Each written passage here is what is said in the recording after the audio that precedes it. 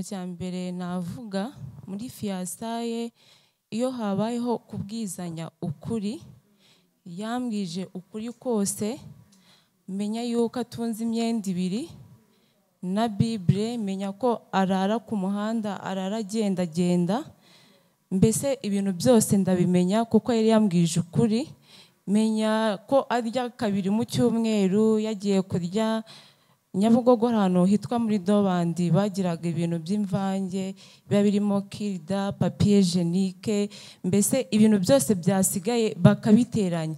Iyo niyo mvange yaryaga noneho ndamukunda numva mugiriye impuhwe nyinshi cyane. Ndavuga mana uyu ni wo mutware umpaye. Umumpaye numva ndamukunze. Numva ko nzamwubaha ikindi cya kabiri ibikomere bye yarabimbwiye yagize nyine by'icyenda na kane. Numva sinshaka kuzamutera agahinda ndavuga ngo urukundo papa we yari kumukunda urukundo mama yari kumukunda ngewe ndaruteranya. Urukundo abavandimwe biwe bari kumukunda. Ndaruteranya ndumukunde sheri ndagukunda urabizi sibyo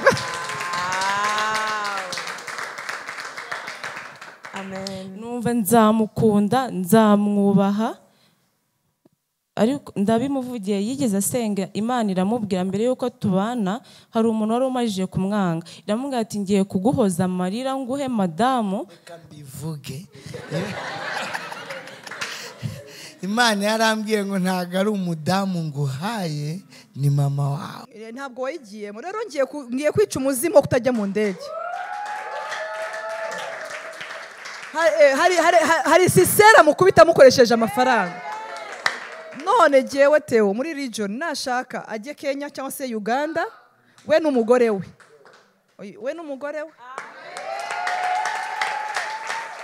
Umva aho bazarara i bugande aho ngaho. Iminsi itatu nzishura ihoteli n'indege zabo ni ukuri rwose. Yes. Oya. Ndashaka kugira umuntu umbwira ngo mu ihema hagomba kubamo inyundo Eh, bene data reka mbabazi iyo turi mu masengesho murambura.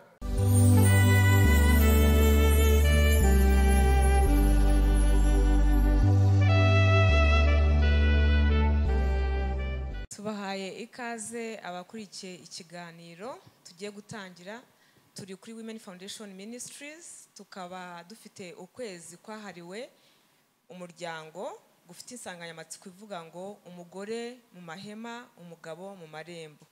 Twagiriye ubuntu budasanzwe ko turi kumwe na nyiriyerekwa cyangwa se umushumba wacu nkaba ngira ngo mudufashe dufatanyije tumuhe ikaze ari we wadutumiye cyangwa waturaritse muri kino kiganiro tugiye kumwakira adusengere narangiza atubwire insanganyamatsiko y'ikiganiro tugiye gukora ndetse n'ibikubiyemo. Murakoze.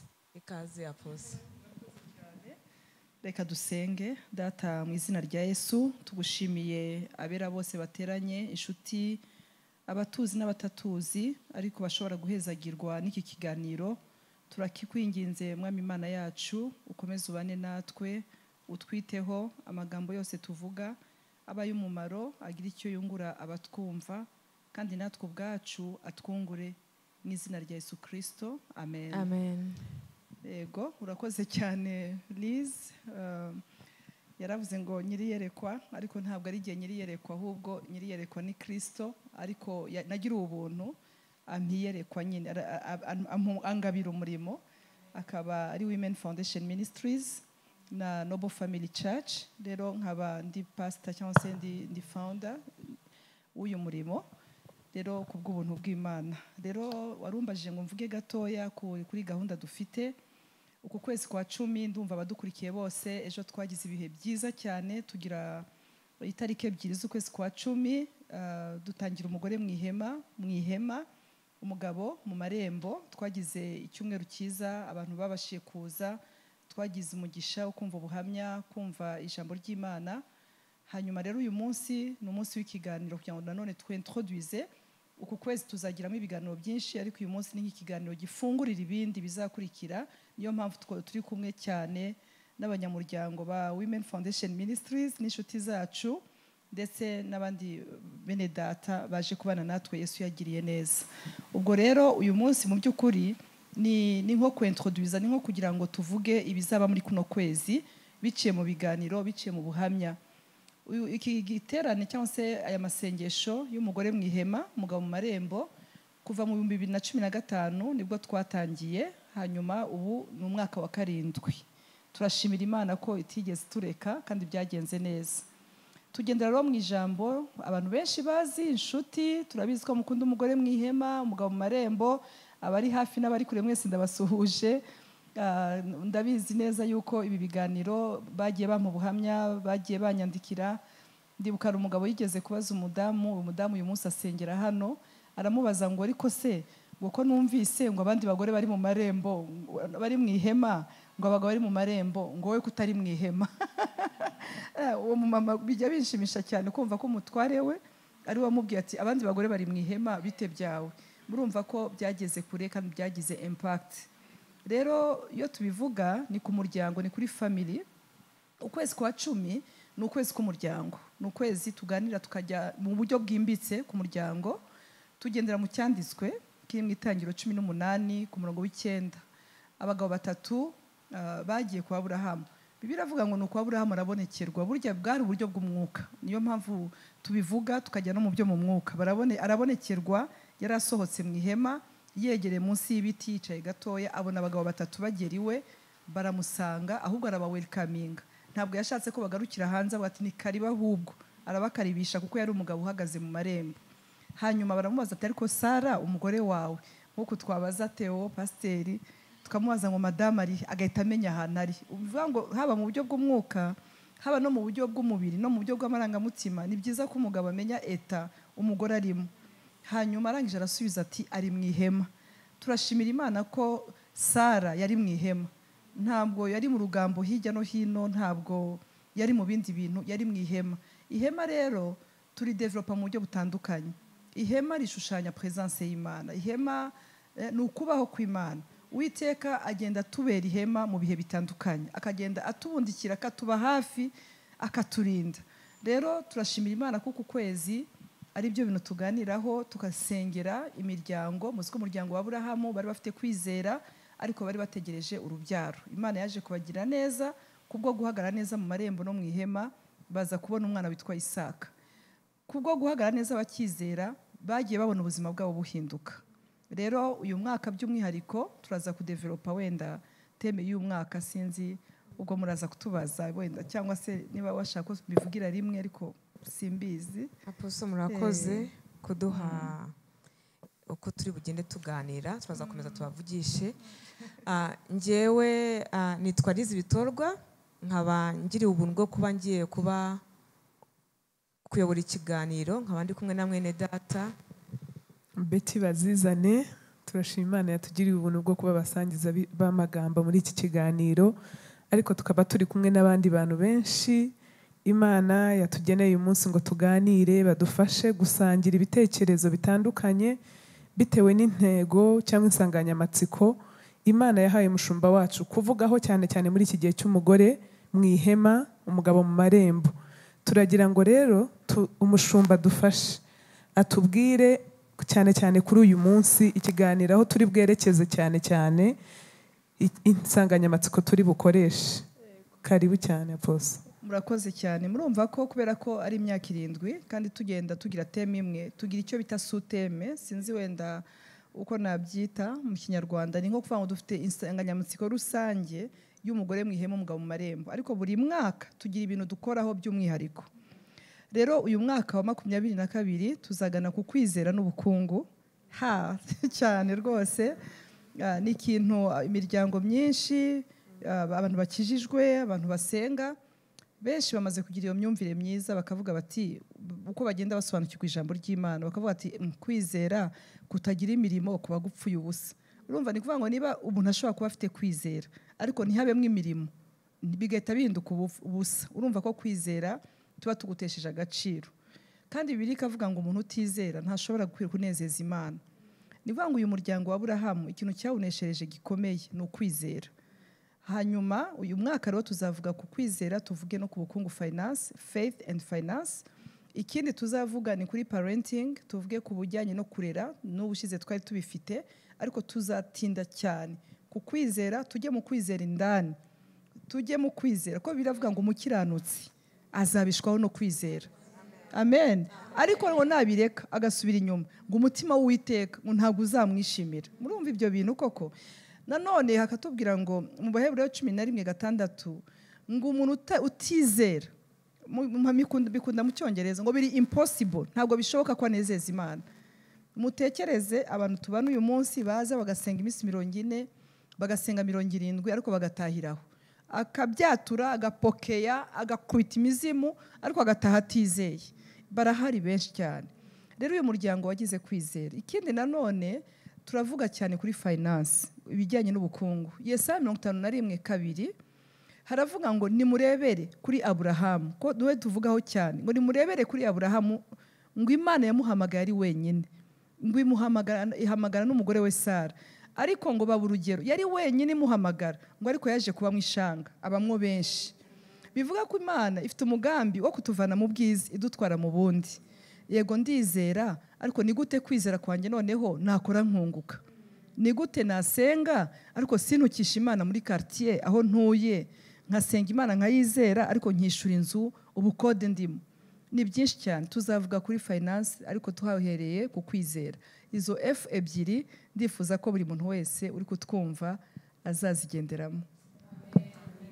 Urakoze cyane mushumba wacu kuduha icyerekezo cy'ikiganiro tugiye kugenderamo uyu munsi. Tuvuga kuri faith and finance. Mu muryango. Yego mu muryango. Muryango. Kuko ari ukwezi kwahariwe umuryango. Noneho rero umuryango harimo umugore harimo umugabo harimo abana. Kandi twese faith iratureba. Ni ukuvuga ngo n'imirimo iratureba. Kuko ngo kwizera kudafite imirimo kimwe ntabwo kiba gihagije kidashyigikiwe n'ikindi. Hano rero nk'uko twabyumvishe iyi ni women foundation ministries. It's a faith based ministry. Ariko ntibigarukira kuri faith gusa ahubwo harimo abantu barimo. mu kinyarwanda ho gato ni umuryango ni umuryango wizera nyine. ariko wizera imana ushingiye ku kwizera imana. Hagati aho rero turi kumwe n'abantu batandukanye turi buganire byumvikana ko aba bantu turi kumwe ni abantu bizera ni abantu babarizwa hano ni abantu bakijijwe bakiriye yesu nk'umwami n'umukiza w'ubugingo bwabo. Mu kwizera ibyo biruzuye. Ariko noneho no mu mirimo turagira ngo badufashe. Tubihuze. Turahera ku mukozi w'imana uri hagati muri twe witwa gishongore. Twagira ubuntu bwo kubana nawe arasa neza cyane. Gishongore turagira ngo yego tubikomere amashyi ni ukuri yes. Ah, gishongore turagira ngo udufashe igihe cyose iyo bavuze gukora iyo bavuze imirimo abantu bahita batangira kumva gukorera leta uka- ukaza ahantu runaka bakaguha akazi bakajya baguhemba cyangwa kwikorera ariko ntabwo wakwikorera udafite igishoro. Umuntu wese rero akumva igishoro. Ubu nagira ngahe kugira ngo ntangire nkore si byo se? Turagira ngo gishongora adufashe ashobora no kudusangiza ubuhamya bwe ariko udufashe ubyumva ute kugira ngo mu mwuka bibe bimeze neza ariko no mu bifatika mu buryo bwa fayinansi mu gukora bibe bimeze neza. Karibu. Murakoze cyane. Beti murakoze. Ndabashimiye. Imana ibamugisha numva ngiye kuvuga kuri iyi topic umpaye nabanza nkavuga ko igishoro cya mbere burya tutaciye ku ruhande ni cyo numvishije dutangira kuvuga kwizera. Burya nta mafaranga aba makeya kugira ngo ubashe kujya muri bizinesi ariko ukagira n'ijambo navuga ngo ribiherekeza rikomeye rirema ibintu bidasanzwe by'ubuhanuzi. Munyemerere ntabwo ndi buze guca ku ruhande. Muranyemera ntabwo ndi buze guca ku ruhande kuko hari igihe umuntu atera imbere bikitwa ko wenda afite umuryango ukomeye wabimuf- wabibamufashijemo ni byo koko imiryango iraturera ikanadukuza ariko hari ahantu bigera bigasaba yuko nawe nawe ubwawe imana yawe ishobora gukora ikintu kidasanzwe. Ndashima imana ku bw'ino minisiteri women foundation ministries kuva nayinjiramo numva ari cyo gishoro cyanjye imana yampaye. Kuko yarantinyuye inyumvisha yuko nubwo nari akana gato nabyita nari agakobwa gatoya. Abantu benshi banzi banankurikiye ntabwo ndi mukuru cyane ariko nanone sindi na mutoya ariko abankurikiye barabyibuka nari akana gatoya cyane. Yari demiri disi njoyiningi hano muri no minisitiri nari umwana mutoya cyane. Ngiye gutangira kaminuza. Murumva ukuntu nanganaga nari mutoya. Twagiraga itsinda nashimira cyane ya poso ku bw'ino viziyo iri yerekwa ryiwe ryitwa girls impact iryo tsinda ryi- ryitwa girls impact. Twagiraga umugoroba blessed mande ni nka blessed mande twakoraga tukumva ibiganiro tukaza bakatwigisha ijambo ry'imana. Ariko naje gukuramo igishoro cyo kwitinyuka ko no- kumva yuko muri bikeya nshobora gushobora. Aho ngaho ni ho natangiriye bizinesi nihuse ntangirira ku mafaranga magana atanu. Iyo mbivuga hari umuntu ushaka kudukurikira akavuga ngo amafaranga magana atanu wenda ni 500 dola amadolari magana atanu cy'amayero oya amafaranga y'u rwanda magana atanu. Ntangirira ku bintu biciriritse atari ibihumbi magana atanu. Oya yego apostle imana ibahe umugisha. Atari ibihumbi magana atanu. Ntangira ku gashinga gatoya. Nkunda kwambara neza. Ubwo ngubwo ntagiye muri byinshi ariko niyo domene nari ndimo yo kwambika abantu. Kuri ayo mafaranga muri demiri disi mu by'ukuri ntago nabwo yari ntago yari ubusa urumva ariko yavuyemo ikintu. Nyuma y'amezi make cyane natangiye kugenda mva hano mu gihugu nkajya uganda kandi ndi no kwiga ariko aho ngaho mvuga cyane cyane yuko guterana kuza nkabona abamama bashoboye nanjye baka- bakanyumvisha ko mbishoboye yewe nanabivuga neza ko abakiriya banjye benshi bari hano. Ni ukuri atari no kuvuga iki ni bya bindi viziyo ivuga ngo gutanga amaboko no mu buryo bw'ibifatika. Numva narabonye amaboko mu buryo bw'ibifatika biciye naho ngaho no kuba umuntu yaza kukugurira murabyumva ni amaboko mu buryo bufatika. Ariko nihuse imana ni nziza murumva nabifatikanyaga munyemerere iyo tuvuga kuri ibi bintu tuba tugomba kujya mu buhamya hari umuntu ushobora kuza akavuga ati se ko abisimbutse nta- ntabifate neza.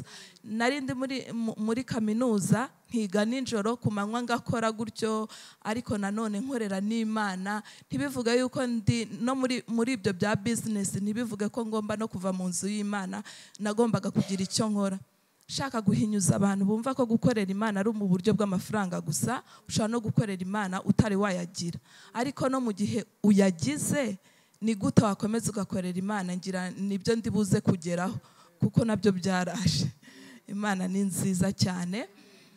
Ntangira gutyo ibintu bit- bitumvikana ariko murumva nza kuva mu gihugu nkajya njya kuzana imyenda nkayivana uganda nkayizana niga ngafata bisi ngacunga ari muri weekend kuko tutigaga muri weekend ngafata bisi ya nijoro mana iyo ngeze kuri uriya mupaka wagatuna imbeho yaho n'ubu ndayibuka ivugira mu matwi. Kubera impamvu nyibuka ntibishobora gutuma mva kuri yesu. Kuko hariya naramubwiye ati hari igihe indege zacagaho nkavuga ati yesu hari igihe bizakunda yuko nzava muri bisi? Ntabwo mushaka kubyumva. Imbeho ya gatuna abantu ba- bankurikiye ba- babizi barayumva. Amaguru akabyimba ibinya bikaza mu maboko ariko ukaba ufite kwizera yuko ubu buzima bizakunda ko ugenda ukagera aho ugomba kugera. Mu by'ukuri igihe gitoya gusa imana ingirira ubuntu bya bindi narotaga mvuga ngo nzagenda mu kirere. Reka tuvuge ngo ugiye mu- ndege ugiye kurangura imana iza kubima muri demiri duze. Murumva ni imyaka ibiri gusa ibintu byahise bikunda demiri duze ntangira kujya dubayi murumva noneho njya mu rundi rwego. Tujye tureka kubeshya. Oke muyakome Eh, ubuzima mu ihema. Murabyumva neza yuko mu by'ukuri umuntu ashobora kunda akavuga ati se ari kuvuga afite ubuhe butunzi? Ariko njye nkurikije aho navuye n'aho ndi pururomoma hari igitangaza imana yakoze. Kandi nizera neza ndashidikanya ko imbere hari ibyiza cyane kurushaho. Ngaruke yuko nakoreraga n'imana. Mu buryo nakoreragamo imana rero nazaga ngasanga nkaza dufite nk'igiterane dufite igikorwa hano nkabaza ati ariko nubwo ntabasha kubona amafaranga ngewe mfite umwanya nzajya niporogaramu mu ntume ahantu hose. Akantu kihuta mu mujyi. Nabaga namenya aho kari nkakazana. Kuki? Kuri moto. Eh? nkakazana umurimo mbega nanjye nkumva ko hari ikintu nakoze ukoroha. Ngira ngo shimire n'abakozi b'imana baba baduhaye opportunity yo gukorera imana ni ukuri ni ubuntu tuba twagiriwe. Nihuse rero. Tibyaje kugenda gute bete umugore mu ihema mugabo mu marembo yatangiye demiri kenzi demiri seze imana igirira neza. Ngira ngo shimire cyane umutware wanjye ari kudukurikira ahari.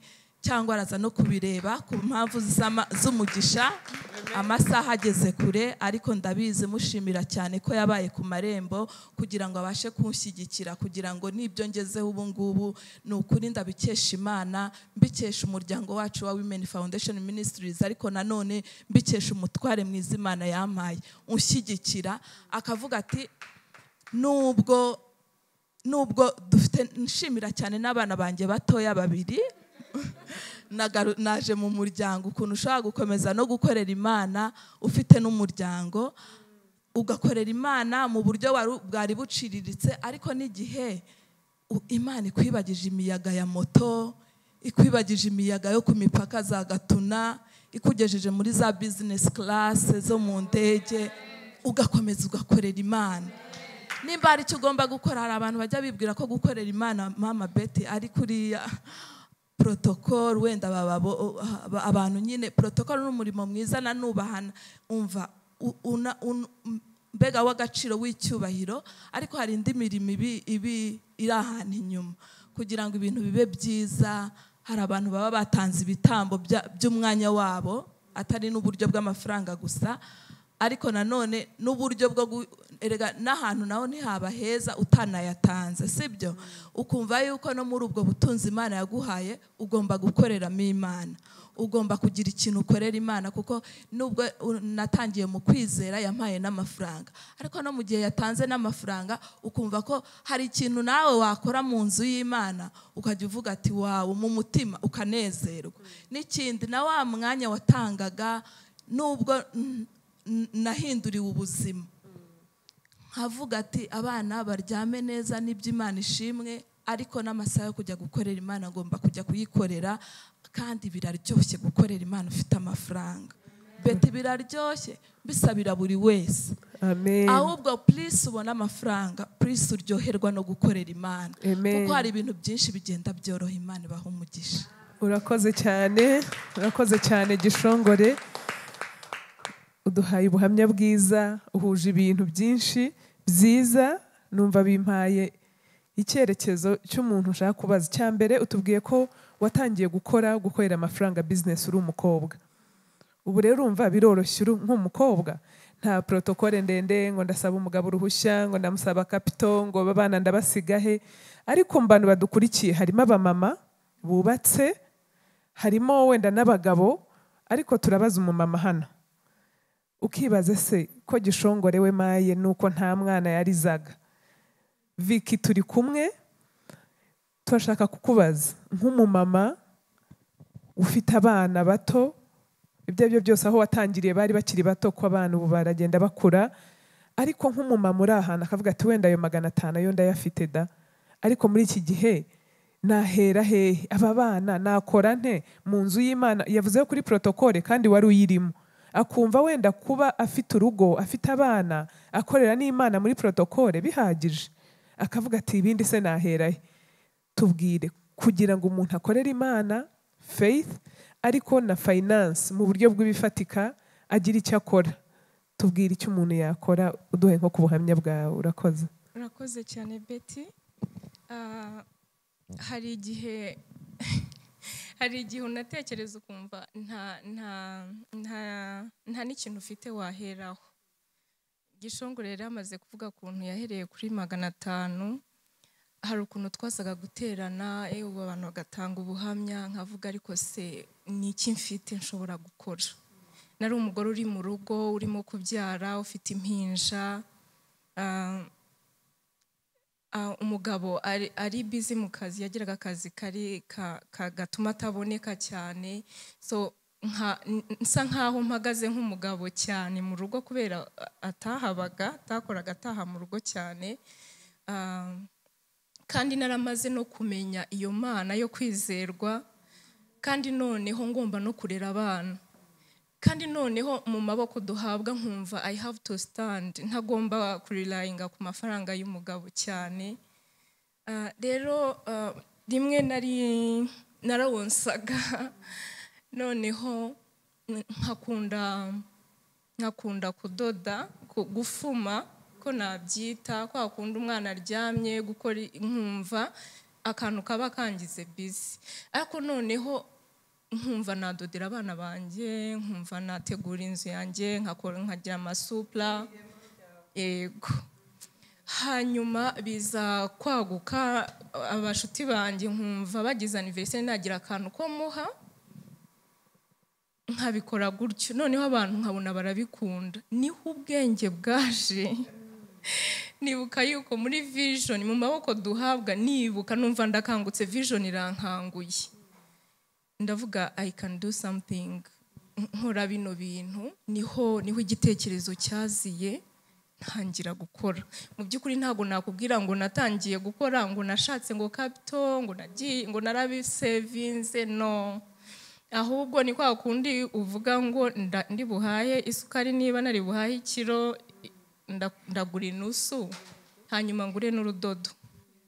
Nuko natangiye ngenda ngerageza kuzana indodo zitamenyerewe muri uyu mujyi zitamenyerewe muri afurika z'i burayi ibintu byanjye birakundwa.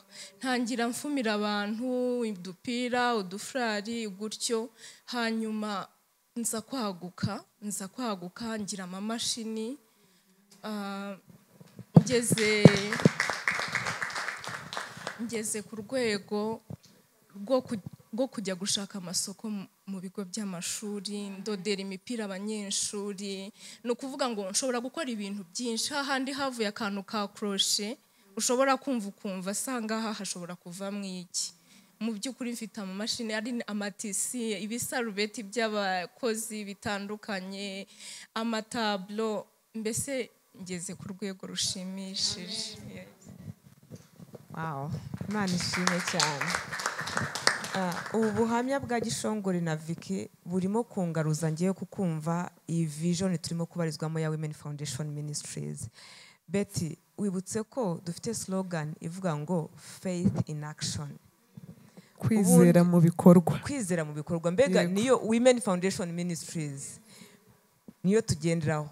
Kwizera mu bikorwa. Pastor Theo, nagira ngo nkubaze maze kumva ubuhamya bwawe henshi hatandukanye.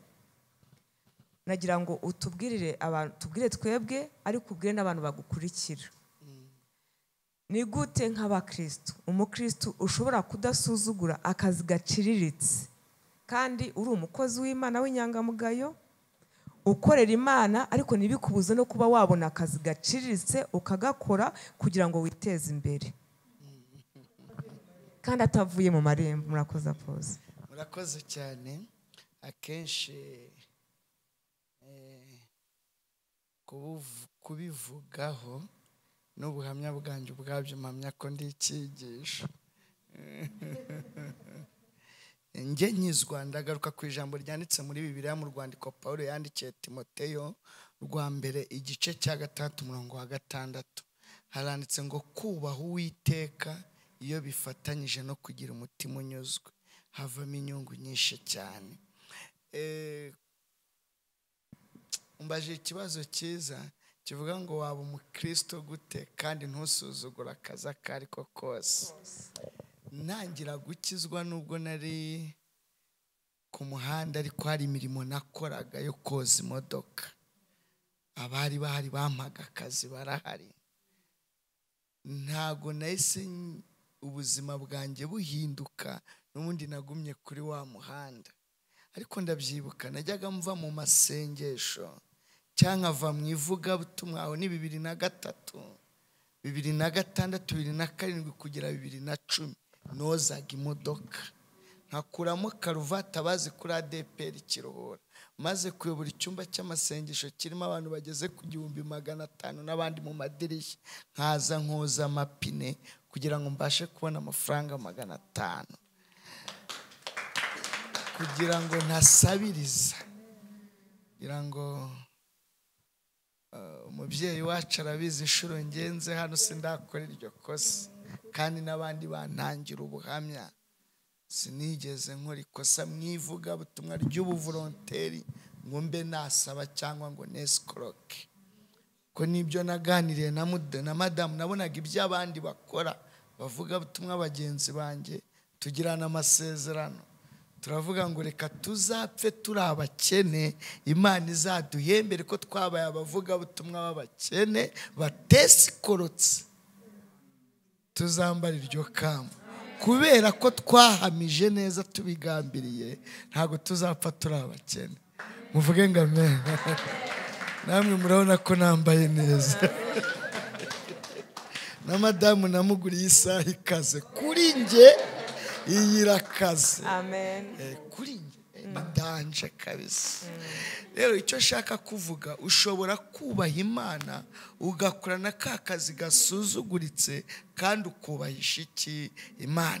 Ngaruke rero ndabyibuka umunsi najyaga muri biro gutangiza umushinga w'ubukwe. Eh, abadiyakoni bicaye hariya na pasiteri. Barambaje ngo ukora iki sha? Mpita mbabwira ngo ndi umunamba. Ntago navuze ngo ntacyo nkora. Navuze akazi ngize gute? Nkora. Ko numvaga ndi fiyeri nubwo gasuzuguritse imbere yako ndi kubabwira ngiye kubatwarira umukobwa. Bakagira ngo ukora iki? N'inzara ni iki? Ndi umunamba. Ariko afite icyo nkora. Ngo ni umunamba abantu ngo ubu se uzadutungira umwana. Ariko tumaze cumi n'ibiri. Urugo ruriho ikindi numva ashaka gusorezaho nihuse birashoboka ko umuntu yakubaha imana. Akagira n'umutima unyuzwe. Muri uyu murongo harimo amagambo abiri. Kubaha imana ndetse no kunyurwa. Reka mvuge ku kunyurwa gusa. Ntushobora kunyurwa utizeye. Bivuga kugira ngo unyurwe ni uko wizera. Kandi uku kunyurwa pawulo yavugaga ntabwo ari ukunyurwa guturuka ku kwiheba kuko hari abanyuzwe ku biva ku kwiheba. Akavuga ati iwacu ntawigeze akora ubukwe. Akanyurwa nuko iwabo ntawigeze akora iki? Ubwo nanjye nzapfa ntabwo nkoze. Iwacu ntawatunze imodoka. Akanyurwa nuko nyine nawe ntacyo bimutwaye niyo yapfa atayitunze. Iyo ni imyumvire y'ibikomere by'amateka. Y'ibikomere by'iki? By'amateka. Ariko kunyurwa ashaka kuvuga. Ni ukunyurwa guturuka mu kwizera imana. Ukavuga ngo nubwo bimeze gutya ariko hari icyo imana yavuganye nanjye. Kandi hari n'ibyo iherutse kuvuga irangije irabikora. Reka mvuge iyi teme nziza ivuga ngo umudamu umugore mu ihema umugabo mu marembo. Kuba sheri wanjye ubundi hari imvugo ku mihanda twakoreshaga. Abenshi batabaye ku mihanda bagira ngo ni imvugo mbi. Ariko twebwe imihanda tuzi icyo ivuga. Ivuga ngo shumi yanjye. Ubundi ni imvugo ivuga ngo uwo mwababaranye. Sheri wanjye twarababaranye. Ariko yagumye mu mahema kugeza kugeza uyu munsi wa none. Mu nzara yanyitaga sheri na n'uyu munsi imana iduhaye akantu twitwa ba sheri na sheri si byo mwana? Nta handi byavuye rero. Uyu ni umwana wo ku muhima. Kavukire ku muhima. Wakuriye ku muhima. Namushatse murusha cumi n'itatu. Yari kunjabuka. Kunjabuka se bwabimenya yari kuncika. Byumva mushumba. Yari kuncika ariko yagumye mu mahema. Kandi si uko atahuye n'abagabo b'ibigoryi bashaka kumbwira ati uriya mu- urezi uramushaka iki? Waje tukakuremera. Ariko akavuga ati dutegereje imana. Aranyurwa. Turashima imana rero aho itugejeje ni heza ariko nta kindi kidushoboje kuhagera ni ukunyurwa. Ariko tukanyurwa kudakurutse mu kwiheba tuvuge ngo tuzapfa gutya ahubwo tukanyurwa dushingiye ku yavuganye natwe. Icyo ni cyo cya mbere. Hari n'ibyo yari iherutse kutubwira. Irabikora kandi turacyakomeje kuyizera bikadutera kunyurwa. Rero kubaha uwiteka iyo bifatanyije no kugira umutima unyuzwe havamo inyungu nyinshi cyane. Mu nyemere nongeraho akandi kamwe. Mu kunyurwa umudamu wanjye namuhaga bibiri nkaba nzi yuko atampyesa ubyeta murabyumva atangavuye. Kandi naho yagavura nzi ko igihe nzaba nakuyeho azahaha. Iyo nigisha inyigisho abaje gutangiza umushinga w'ubukwe ndababwira ngo ntimukajye musiga mverope iriya y'ijana uzajya uyigendana mu gakapu mu gashakoshi. Hari igihe uhura n'intoryi z'umuhondo zatangiye kuba umuhondo ugahita uzigura kuko muri karitsiye ntazo. Ukagera mu rugo wahashye ibya nijoro ni bwo buzima twabagamo. Ariko akanyubaha none ukaba wajya kwigisha i remera bakaguha bibiri by'itiki. Madamu mu gasyata ugahita uyamusunikira kuri mobayiro mani ukava i remera utarasa n'amaguru ukagera mu rugo bihiye. None nanjye sigaye nca kuri botike shera uheruka kujya guhaha. Ninde uhaha n'imodokari ndaparika agafuka k'akawunga ak'umuceri uvuge ngo ariko n'ahandi byavuye ni uko umudamu yanyuzwe ayo muhaye mu bihe bikomeye akamenya no kujya abyeta akagira icyo yakoresha atari ugubyesa ngo ajye kunywa icyuma. Hariho abadamu babyeta banywa mitsingi. Hariho abadamu babyeta banywa ntabwo mwabimenya mwebwe mwagiriwe ubu. Ariko ubundi hariya kuri iriya ya makaritsiye ameze ukuntu hari karitsiye ziba zifite amesikariye kandi atari etaje. Umanuka ku mesikariye. mushumba pasita ugatura ahantu ukajya umanuka ku mesikariye n'ubundi atari muri etaje rero twanyuzwe naho ariko twizeye imana. Ubu nanjye ndi muri kadasitiri byinshi umuntu yavuga kuri iri jambo ryo kubaha imana ariko umudamu ari mu mahema ugakorera imana uri ku marembo eh, imana igahindura iki? Amateka. Amen. Pasiteri imana ibaha umugisha cyane. Reka nihute mere mikoro madamu nawe mubaze. Hari abantu benshi badukurikiye ariko nanjye ndumva mfite amatsiko. Imbaraga. Imbaraga zo mu ihema yego ariko utubwire ni gute wazigama urukundo rw'umwimerere? Muri ubwo busharire bwinshi bw'ubukene. Murakoze cyane. Ikintu cya mbere navuga muri fiyasaye iyo habayeho kubwizanya ukuri yambwije ukuri kose menya yuko atunze imyenda ibiri na bibure menya ko arara ku muhanda arara agendagenda mbese ibintu byose ndabimenya kuko yari yambwije ukuri menya ko arya kabiri mu cyumweru yagiye kurya nyabugogo ahantu hitwa muri dobandi bagiraga ibintu by'imvange biba birimo kirida papiye jenike mbese ibintu byose byasigaye bakabiteranya. Iyo niyo mvange yaryaga noneho ndamukunda numva mugiriye impuhwe nyinshi cyane. Ndavuga mana uyu ni wo mutware umpaye. Umumpaye numva ndamukunze. Numva ko nzamwubaha. Ikindi cya kabiri ibikomere bye yarabimbwiye yara- yagize nyine by'icyenda na kane. Numva sinshaka kuzamutera agahinda. Ndavuga ngo urukundo papa we yari kumukunda urukundo mama yari kumukunda njyewe ndaruteranya. Urukundo abavandimwe biwe bari kumukunda. Ndaruteranya ndumukunde. Sheri ndagukunda urabizi sibyo?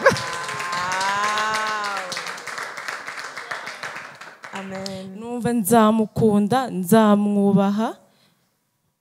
Ariko ndabimuvugiye yigeze asenga imana iramubwira mbere y'uko tubana hari umuntu wari umajije kumwanga. Iramubwira ati ngiye kuguhoza amarira nguhe madamu. Reka mbivuge. Imana yarambwiye ngo ntabwo ari umudamu nguhaye ni mama wawe. Ubu rero uyu ni meri amen. Numva ngomba kumwubaha no kumukunda ni cyo cyamfashije mbere nyuma y'uko dukora mariage. Numvaga ibibazo birangiye kurya bigiye gutangira kuri we mbese numva ubuzima bugiye gufatika? Twubatse urugo ahubwo ibintu byarushijeho kuba bibi cyane. Uko biba bibi nkarushaho kumukunda. Nkamwubaha yari umuvugabutumwa nkamenya ko nkwiriye kwita ku bintu bye byose ash- ashaka kujyana mu ivugabutumwa urwo rukweto iyo kositimu imwe nkayimesa nijoro nkayikamura nkayikumumura mu gitondo ikamera nk'iteye ipasi agakomeza umurimo. Ubwo rero numvaga uko byagenda kose ngomba kubaka urugo rwanjye n'abana imana yaduhaye mu nzara nyinshi nyinshi nyinshi cyane ariko twizeye imana ko izatugirira neza twari twaravuganye na yo mbere y'ubukwe mu bukwe imana iratuvugisha. Iyo imana ikuvugishije wumva ari ejo mu gitondo.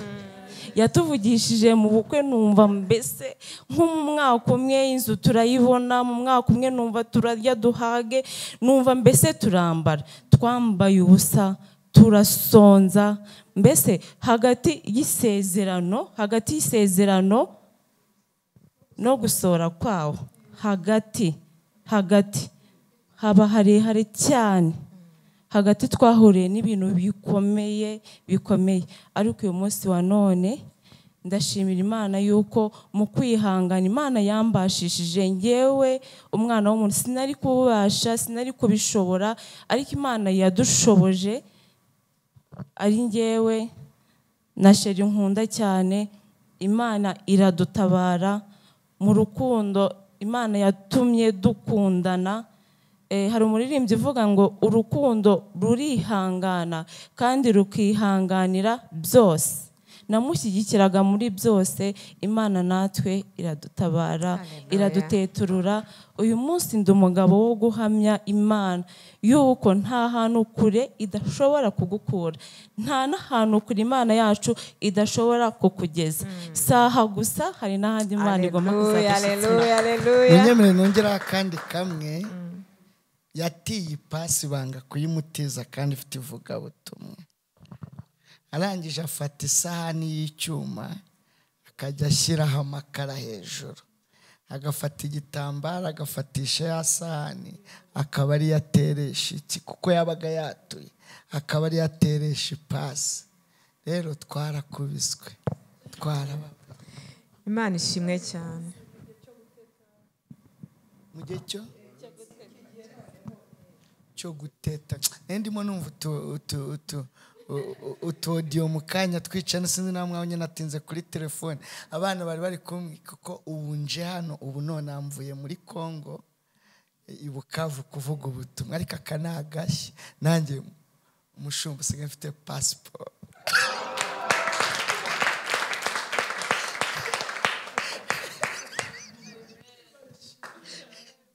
hari ibintu mutakuma hari umuntu wambwiye ngo kuki nashimye imana ngo ko mfite pasiporo? Ngo umuntu yanguriye pasiporo. Nawe ati pasiporo y'ibihumbi ijana kuyigura ntago nayabura. Ariko sinshobora kugura pasiporo y'ibihumbi ijana n'abantu muzi ndera. Naguramo ibyo kurya. Nose ndagura pasiporo yo kujya nyabugogo? Niho nzi kure mbese ni ho ngenda. Ariko igihe kigeze imana ibonye ko igihe kigize gute kigeze. Igihe kigeze. Umuntu arayingurira n'ubutumire bwo muri congo buraza. Ese kuki butaje mbere? Ntarayibona. Bukaza ari uko maze kugira gute? Kuyibona. Rero kunyurwa ni cyo cya mbere. Nayo mbabwiye ngo mukane ndimo numva utuwodiyo abana numva bamaze iminsi itatu batambona. Uzi ko iyo byemeye? Urambaje ngo mu gihe cyo guteta. N'abana barateta. Muzi ibintu basabye? Papa unzanira isikirimu ariko ni ukuri kuba. Undi ari kuntuma yawurute. Noneho ni cyo gihe reka mbabwire ukuntu ibikomere ari bibi. Abana banjye bigaga ku ishuri rya pirimeri hariya mu gasyata ryitwa katurike pirimeri iri risanzwe nkishyura birindwi birindwi nkabibura ndi pasiteri ariko nsabiye umugisha diregiteri w'icyo kigo ntiyabirukanaga. Yaravuga ati mureke aba bana ba pasiteri imana izabagirira neza. Ibyumve ko musabiye umu- musabiye umugisha. Noneho garidiyene bayize umukuru n'umukurikira fata aka gacupa k'inyange aka ngaka tugasukamo mu karu ihita ihinduka pome. Ibyo mvuze sinzi mubyumvishe igaragara nka pome. None imana itangiye kutugirira neza mbabazwa no kuba abana banjye ntarabapfunyikiye. Ibyo nagombaga kubapfunyikira. Mbwira madamu ngo genda ubwire diregiteri ko imana hari icyo itangiye gukora tubapfunyikire biga mu wa gatatu no mu wa kabiri mu rwego rwo kwivura ibikomere by'ibirarane. Rero n'abana barabimenya ko byemeye. Urakoze cyane. Igihe cyo guteta n'abana nabo barateta. Ni ukuri umwana ntiyakwaka isikirimu muri buryo ubugari n'ubunyobwa. Ntabwo byava nabo bamenye igi- ibihe barimo. Murakoze cyane pasiteri Theo na madamu Ah, ngiye kuvugisha undi muntu udasanzwe uri hagati muri twebwe. Umugabo mu marembo. Ah, mirindi steven. Ndagira ngo ubwire abantu badukurikiye. Udusobanurire hamwe no gukora tujye twumva ubuhamya bwawe. Iyo ubundi umuntu avuze ngo ndi umukomisiyoneri bivuze amakuru menshi. Bivuze umwambuzi bivuze umwesikuro bivuze byinshi. Ariko wowe gutinyuka. Ugakora akazi k'ubukomisiyoneri ukakavanamo inyungu kandi ntikakuvane mu marembo. Wabishoboye gute? Urakoze cyane pasitarizi ikibazo ni cyiza cyane. Kukibaza uyu munsi biroroshye? Kuko kamaze gusobanuka.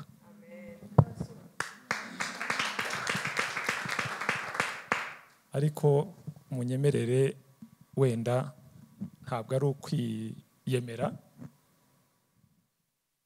Hari ibintu kuvuga mirindi nsize umushumba biri bungore ariko ndi kimwe nuko ntangira aka kazi.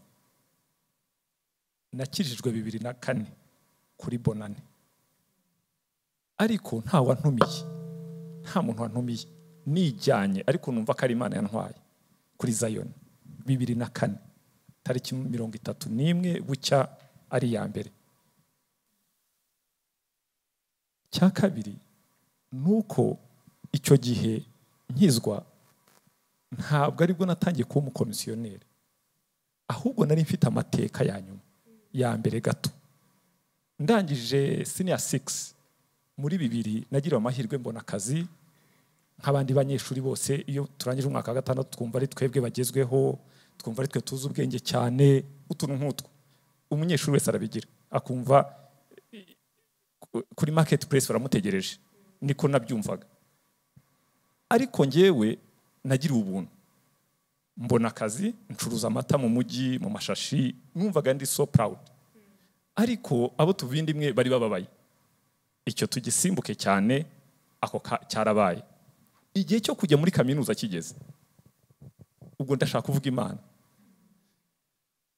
Abandi duhamagarwa kujya mu, ngando.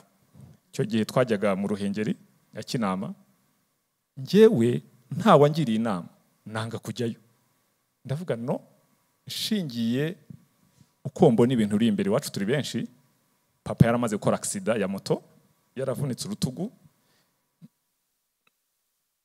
Ndavuga abari inyuma yanjye bagize amahirwe bakagera aho nari ngeze. Nicyo cyambuje kujya muri kaminuza. Nshaka amafaranga. Wumve bibiri bibiri na kane. Ariko bibiri bibiri na gatatu naciye ahantu hatandukanye. Ariko bibiri na kane njya gukizwa nari nahuye n'ikintu gikomeye. Nari maneja muri sosiyete runaka ijoro rimwe. Barabyuka barambwira ngo ntabwo ukiri maneja w'amamodoka na hoteli ahubwo ubaye umuseriveri.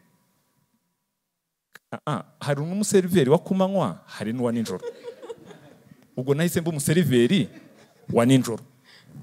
Ariko njye sinasobanukirwa ko ari uburyo bumwe bwo kwirukana umuntu. Sinabisobanukiwe. Abakozi baravuga ngo aho kugira ngo ube umuseriveri tuzaseriva ariko uguma uri maneja ariko witwa iryo zina. So, icyantwaye mu gakiza nta nubwo nari ngiye kubaza imana ko ntayo nari nzi. Ariko naravuze aha hantu abantu bajya bagafashwa reka ngeyo. Veye so ndashaka gusimbuka cyane rero. Nkizwa the same night umukozi w'imana aravuga ngo hari abantu babonye akazi ba batatu. Mu bavuze batatu nari ndimo ariko sinari mbizi. Ariko icyatangaje ni uko aho nari umuseriveri nahaboneye akazi mu yindi institution outside ariko numva neza ko bivuye ku mana. Kubera ubuhanuzi. Ndabyumva kari njye. Ariko sinashoboye gusubira inyuma ngo ushime imana. Icyo na cyo tukihorere. Bibiri semu bibiri na kane ntangira umurimo. Nashaka kuvuga rero ka kantu kitwa ubukomisiyoneri. Ubwo urumva kumenya imana hari aho bavuga ngo kumenya imana ni bwo bwenge naho kuva mu byaha. Ese hagati ya bibiri na bibiri na kane mirindi yarinde bivuze ngo one nta mana nari nzi bivuze ngo nta bwenge. Ariko noneho fizikare nta bwenge kuko numvaga ko ntagendwa muri kaminuza. Ubwo hari ahantu umuntu bikuganisha. Bibiri na kane ni ukuvuga ngo sinkijijwe n'ibyaha nujuje ibyangombwa ariko ndakijijwe noneho. Iki cyanditswe kije kivuga ngo kumenya imana. Ndavuga wa mana we. Niba ari wowe kumenya imana ari bwo bwenge. Sinzajya muri kaminuza ariko ngiye kugushaka. Ariko singiye kuyishaka nk'ibi tujya twumva ngo bagiye mu misozi bagiye kanyarira oya. Naravuze gusa ko ari wowe bwengere bumpereza ndakora amezi umunani ndatinyuka. Ndavuga rero ubwo disappointments nabonye ahantu hatandukanye harimo n'aho nagiye ni ho nabonye ko nabwiye imana ngo ndashaka gukora umurimo uwo ari wo wose. Yewe reka mvuge n'amakara. Kuko icyo gihe amakara n'inyanya nitwo twumva ko ari byo bintu biciriritse. Ariko icyo nzakora cyose i need to be number one. Nkeneye kuba uwa mbere mu gihugu. Bimenyekane. Bibiri na kane rero wumve ubukomisiyoneri ntabwo ari ubw'uyu munsi. Cyari igihe kibi cyane. Kuko byari bisobanuye umujura byari bisobanuye eh, umwesikoro byari bisobanuye ibintu byinshi. Nta n'uwabyifuzaga ariko imana ibimpa reka mbivuge gutyo eh, yambwiye ko ntaho imana itagukura wibuke ko nasabye kuba nacuruza inyanya cyangwa amakara ariko mbu wa mbere nibuka akantu kamwe imana burya iguha ikintu wabonyeho. Ni bwo nabonye yuko hari utuntu twitwa classifieds i Bugande mu newspapers murabizi. Ntangira uwo mwuga w'ubukomisiyoneri ariko buriya bit advanced. Nshyira mu binyamakuru namamaza. So muri ibyo rero byose muri make tuvuye bibiri na kane ni bwo nabitangiye ndakomeza hariho ku- ku- kuvugwaho ibintu byinshi. Ijambo rimwe rijya rishimisha uyu munsi ni rimwe. Nuko ntangira navuze ngo nemeye kwambara uyu mwambaro w'igisuzuguriro. Ariko igitondo kimwe. Ibi bintu bizemerwa. So icyo gihe ntanze kuvuga yuko ndeye buroka mu rurimi rw'icyongereza rwiza nemera kwitwa umukomisiyoneri. N'uwumbajije wese nkambwira nti ndi umukomisiyoneri. Kuko numvishe mbaye proud ariko ntumbaze izo mbaraga. Sinari nzisobanukiwe bibiri n'umunani. Aho ni ho nshaka kuvuga. Kuvuga mirindi no kuvuga the vision of the ministry bishobora kungora ariko ni byiza. So mu, kugenderaho rero numva nacitse intege numva wumve bya bitutsi byose ubyibaze numva nabivuyemo igitangaje ni bwo nahuye n'umushumba muri icyo gihe. Nabivuyemo. Wumve ko nashatse hagati aho bibiri na karindwi wibuke ko kwa iwa aho umudamu akomoka bazabaza ngo akora iki? Ariko I was so proud day one. Naramubwiye ngo ngewe umwuga wanjye nkora ni uyu. Ntabwo nabeshye ntabwo nagiye kumubwira ibindi. Ariko icyiza ni uko atigeze anca intege. Kuko njye nishyizemo ikintu kimwe. Niba nshobora gutunga ba- barumuna banjye batanu ntabwo nananirwa gutunga umudamu umwe. Utaryana nijoro. Murabizi? So ibyo narabibonye. Rero icyo gihe cyose impamvu nari ayo mateka ni ukugira ngo nsubize ni gute umugabo ashobora. Kuguma mu marembo cyangwa gukorera imana ariko nanone akaguma no muri ka kazi gasa nk'agaciriritse cyangwa gasuzuguritse kandi kakamubyarira inyungu. Kandi kakakubyarira inyungu. Aho rero nabanje kumenya ikintu kimwe nari maze kumenya kirisito nubwo ntari muzi nk'uko muzi uyu munsi ariko nari maze kumusobanukirwa. Ndavuga iyi mana yampaye akazi ntabaye kuri no kuri bonane. Ubu irananiwe. Icyo nize muri iyi minisiteri gikomeye ni ukwizera. Teme y'uyu munsi irimo faith and finance. Kwizera ikintu kimwe nabwiye imana bibiri n'umunani n'icyenda na cumi probably kugeza na cumi na kane aho nabwiye imana ntimva rero. Nta bibiliya nzi nyinshi. Nta n'iyo ngiye kwiga kuko mfite umugore mfite abana bagomba kubaho. Icyo ngiye kwizera ni kimwe. Sindi bujye kugushaka. Ngiye ngiye kureba uwo watumye. Nta kindi. So nagarutse ku mushumba. Umushumba ari ukuntu agutoza atakubwiye nabi nk'umubyeyi wawe ariko akagushyiramo ibyiringiro akakwigisha yuko kwizera imana gusa. Akakwigisha kwizera ko kurema. Uyu munsi pasitarize nakubwira yuko mu bintu bimwe namenye ni uko mu- byanditswe hari muri proverbs 39 namenye ikintu cyitwa kubahisha imana n'ubutunzi bwawe. Iryo jambo naribwiye imana. Tu nabwiye imana ngo you my the ceo njye ndi umukozi muri iyi kampani nujya mu mashuri nturi bumbone cyane. Ariko kuri ceo amakosa nzakora. Uzayabazwa na board of directors ubwo ntumbaze ni mu ijuru. So ibyo byose naje gusanga ko kwizera hamwe n'imirimo ariko ifatika noneho ukaba realistic. Wubahisha imana Wubahisha Imana. imirimo urimo gukora. Nta kindi nakoze. Njye nabwiye imana ko njyewe you my partner. Guide me. Ntabwo ntabwo ndibuze kubwira ngo hari ibindi nagiye gushaka. Wow. Aka kazi ibi nkora ni wowe ubima. Nuko mbikoresha ugomba kumfasha kuko njye simbizi. Aho rero ni ho imana yabaye umubyeyi. Nta handi. Kuko hari igihe umuntu ashobora kubwira siyorizi za bayibo nyinshi uko niko kuri pe ku bazi kubivuga neza. Ariko njye nemeye ko imana ari ceo kandi ibyo ntunze njyewe he is the boss. So ni gute ndibuze kubikoresha kugira ngo nkubahishe. Wowe nk'imana ntabona. Kandi nkasubiza no ku kibazo kimwe aho navuze ngo biragoye kuvuga imana yo mu ijuru yesu kirisitu ntavuze umushumba umutoza. Ntabwo njye byari bigoye kumva ariko ndibuze gutozwa n'umwuka wera. Ariko nemeye uwo yatumye. Ndavuga nti ibi nge nzajya mbibonera aha. Umushumba yakora iki mu gitondo nkumva nanjye nagikora? Yakora iki nkumva nagikora? Namubaza ariko ibi kubikora bigenda gute? Ntambwire byinshi akambwira ati uzayibona. Ikindi numva nifuza gusorezaho bene data gukorera imana ntabwo ari akenshi hari igihe abantu batekereza ko ari amafaranga ariko no kubaha uwo yatumye.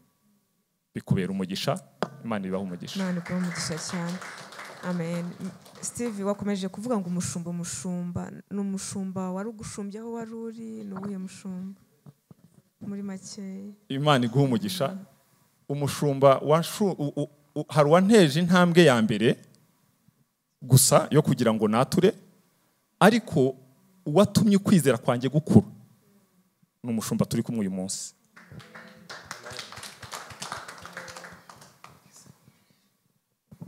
Urakoze cyane mirindi steven iki kiganiro kiraryoshye tugarutse ku mirimo wavuze. Hari ukuntu abantu tumenyereye ko imirimo akazi umuntu ahita yumva akanjye kwa purayinga cyane cyane nk'abadamu n'abakobwa uhita wumva kashake seve nkurikije na yo nize nkurikije nkurikije abo tuziranye nkurikije ibintu runaka bitandukanye. Hakabaho imirimo abadamu kenshi n'abakobwa bishizemo ko ari iy'abagabo. Ukumva wakumva ibintu byo gupiganirwa amasoko ugahita wumva bihaye umutware wawe cyangwa basaza bawe nibaritsindira bazaguha akazi. Ariko hari mwene data turi kumwe hano alice. Turagira ngo tukubaze. Muri faith and finance uri mu nzu y'imana uri umukozi w'imana ariko no mu buryo ugatinyuka ukajya gushaka akazi nk'ako ugakora ibintu abantu benshi batamenyereye ko ari iby'abadamu n'abakobwa muri iki gihe watubwira iki? Cyane cyane nk'abantu bari mu nzu y'imana bumve ko ese birashoboka bigenda bite? Karibu. Murakoze cyane beti Eh, icyo ngiye nabanza wenda nabanza guheraho muri fondasiyo y'ibyo umbajije nkeka ko ugirirwa umugisha bitewe n'ahantu utinze. Ese utinze muri ayo mavuta? Eh, njyewe nabanje kwiremamo icyizere bitewe n'ukuntu nakuze n'aho nakuriye n'ibyo nabonaga. Ntabwo ari mu rugo ndi kuvuga cyangwa mu muryango ndi kuvuga mu itorero ryanjye. Eh, ku myaka yanjye ushobora kwibaza watinyutse gute? Ntabwo ntekereza ko iyo umuntu ari committed ahantu umunsi wa mbere bakavuga vision umunsi wa kabiri bakavuga vision bitewe n'igihe umaze wumva vision utangira kwiremamo icyizere muri wowe. Eh, ngendeye kuri testimony gatoya narakoraga nanjye nk'undi mugore wese cyangwa nk'undi mukobwa wese ukiri mutoya ndeba bitewe n'ibyo nkora ntabwo ari akazi cyangwa iki ariko ni ibyo mbasha kuproducinga. Ndareba ndavuga ko kano kazi nkabona wenda mbona bamwe bakora gutya kuki njye ntabasha gukora ikindi kintu nanjye nkabyara production bitewe n'ibyo nari ndimo. Ariko numva ngize kwitinya icyo nari mvuze ngo fondasiyo y'amavuta urimo naramvuze ngo reka ndebe sample ubundi nyihereze umubyeyi. Hari benshi tuvuga ngo dufite umushumba ariko se umushumba ibyo ahora akubwira urabyizeye? Niyo faith uri kutubwira. Niyo faith turi kubwira abandi badukurikiye. So njye ni ho nahereye. Ndavuga niba umushumba avuga ngo ashaka kuduha amaboko reka mpere mu kwizera. Ndamwandikira ndabimubwira. Ikindi narenzaho menya ubwira icyo uri kurota. Hari abantu baduca intege. Ukabwira umuntu uti ndashaka kujya mu bushinwa njye kurangura inkweto. Atari ko ari se wataye umutwe uzi abagore bari mu mujyi akaguca intege. Ibi n'ibi ntabwo ari uko mvuze ko ababikora batabikora. Ariko hari abaguca intege.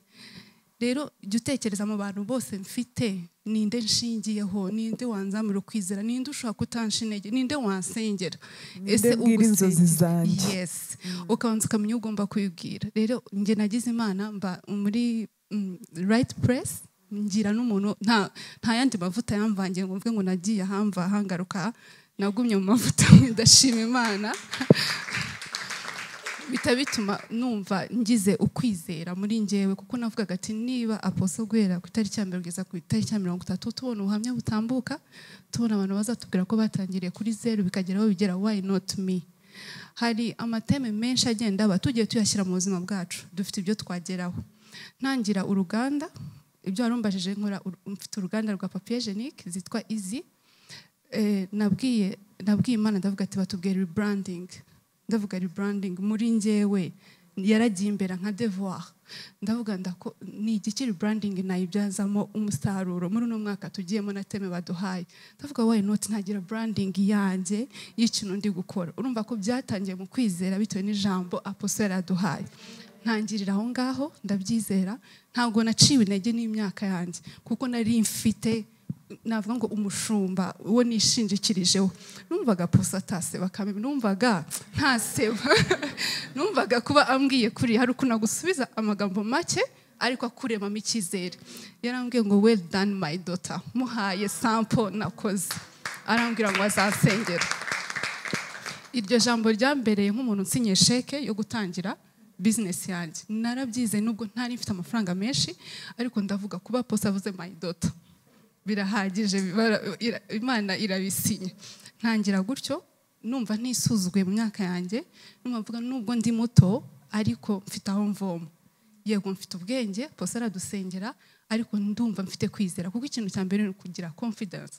Ukavuga nubwo mbigiyemo ya majwi yose ambwira ati uragize navuga gute uri gutekereza ibintu bigari muri wowe bitashoboka ariko ufite ijambo. Ufite aho buri munsi. Iriya vision kenshi iyo tuyumva kenshi ntabwo ari uko bavuga ngo ngo ngenda yizi ngo hagiye gukurikiraho ngo mu buryo bw'umwuka none hora uyumva iraguhereza inspiration. Ejo wumve kano ejo wumva kandi. Mbwira n'abantu badukurikiye ujye uyisubiramo nibiba ngombwa ugere aho bari kuvuga vision wumve vision nge nayikuramo iki? Kuko ntabwo ari aposo uzaturotera. Twe tuzarota deni tumubwire abihe umugisha. Ubwo rero muri action eh, ntangira numva nizeye rya jambo aposo muri covid akadusengera hari amakontra ku isezerano bigora kuritegereza ukavuga mana iyo kontra izaza. Ukumva ni nka mu gitondo bari guhita baguhamagara kuri telefone bakubwira ngo hari kontra twaguhaye hari isoko ugiye kubona. Ariko ni ukuri hamwe no kwizera. Hari igihe bikubaho ako kanya ntabwo uhita wibuka ko ari rya sezerano risohoye. Ahubwo uko uri kugenda ubivuvura aya posera akavuze kano ndagacakira na kano ndagacakira. Bigatuma no muri action kuko wizeye ugategereza hari ibyo ugeraho. So no mu masoko rero ngenda mfite kwa kwizera kwanjye. Kuko byose biva mu kwizera. Utizeye n'ukuri ntago ngenda umwana w'umuntu nta famiye mfite ikomeye ntago mfite umugabo ukomeye cyane ahubwo mfite umugabo unshyigikira ambwira ati imana yawe ukwizera kwawe bijyane nawe.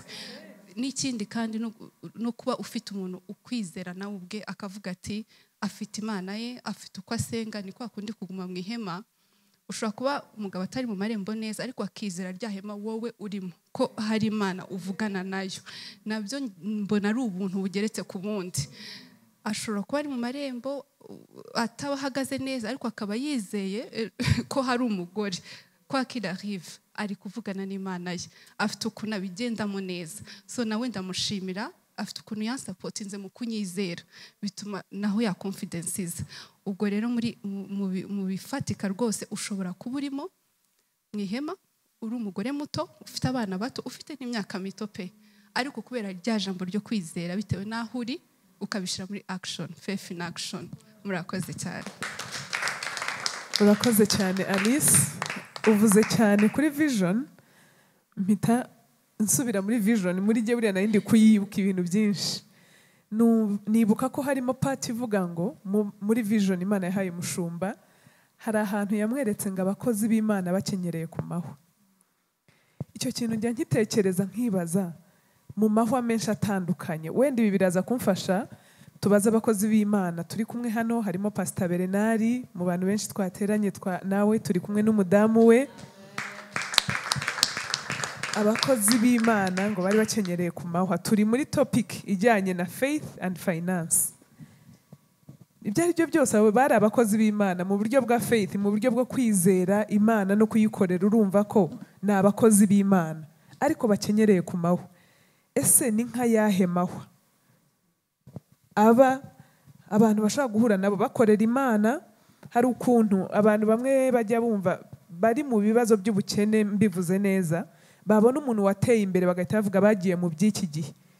Kandi wa muntu ukiri umukozi w'imana. Ariko ari uko wenda hari ibyo yagezeho bo badafite. Yagiye mu byateye bagiye mu by'ubu bagiye mu by'isi. Kubera ko babona hari impinduka nziza nabo bifuza wenda ariko batajya bavuga ariko bakeneye. Duhe noneho nk'itandukaniro tubwire kuba uri umukozi w'imana ufite muri faith umeze neza ariko itandukaniro rihariyo no mu bifatika. Hari icyahindutse. Karibu.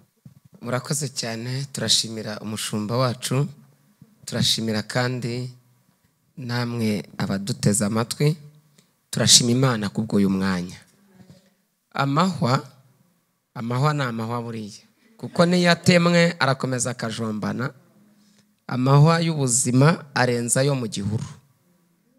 Kuko ahanda umuhamagaro akawusharirira kabisa.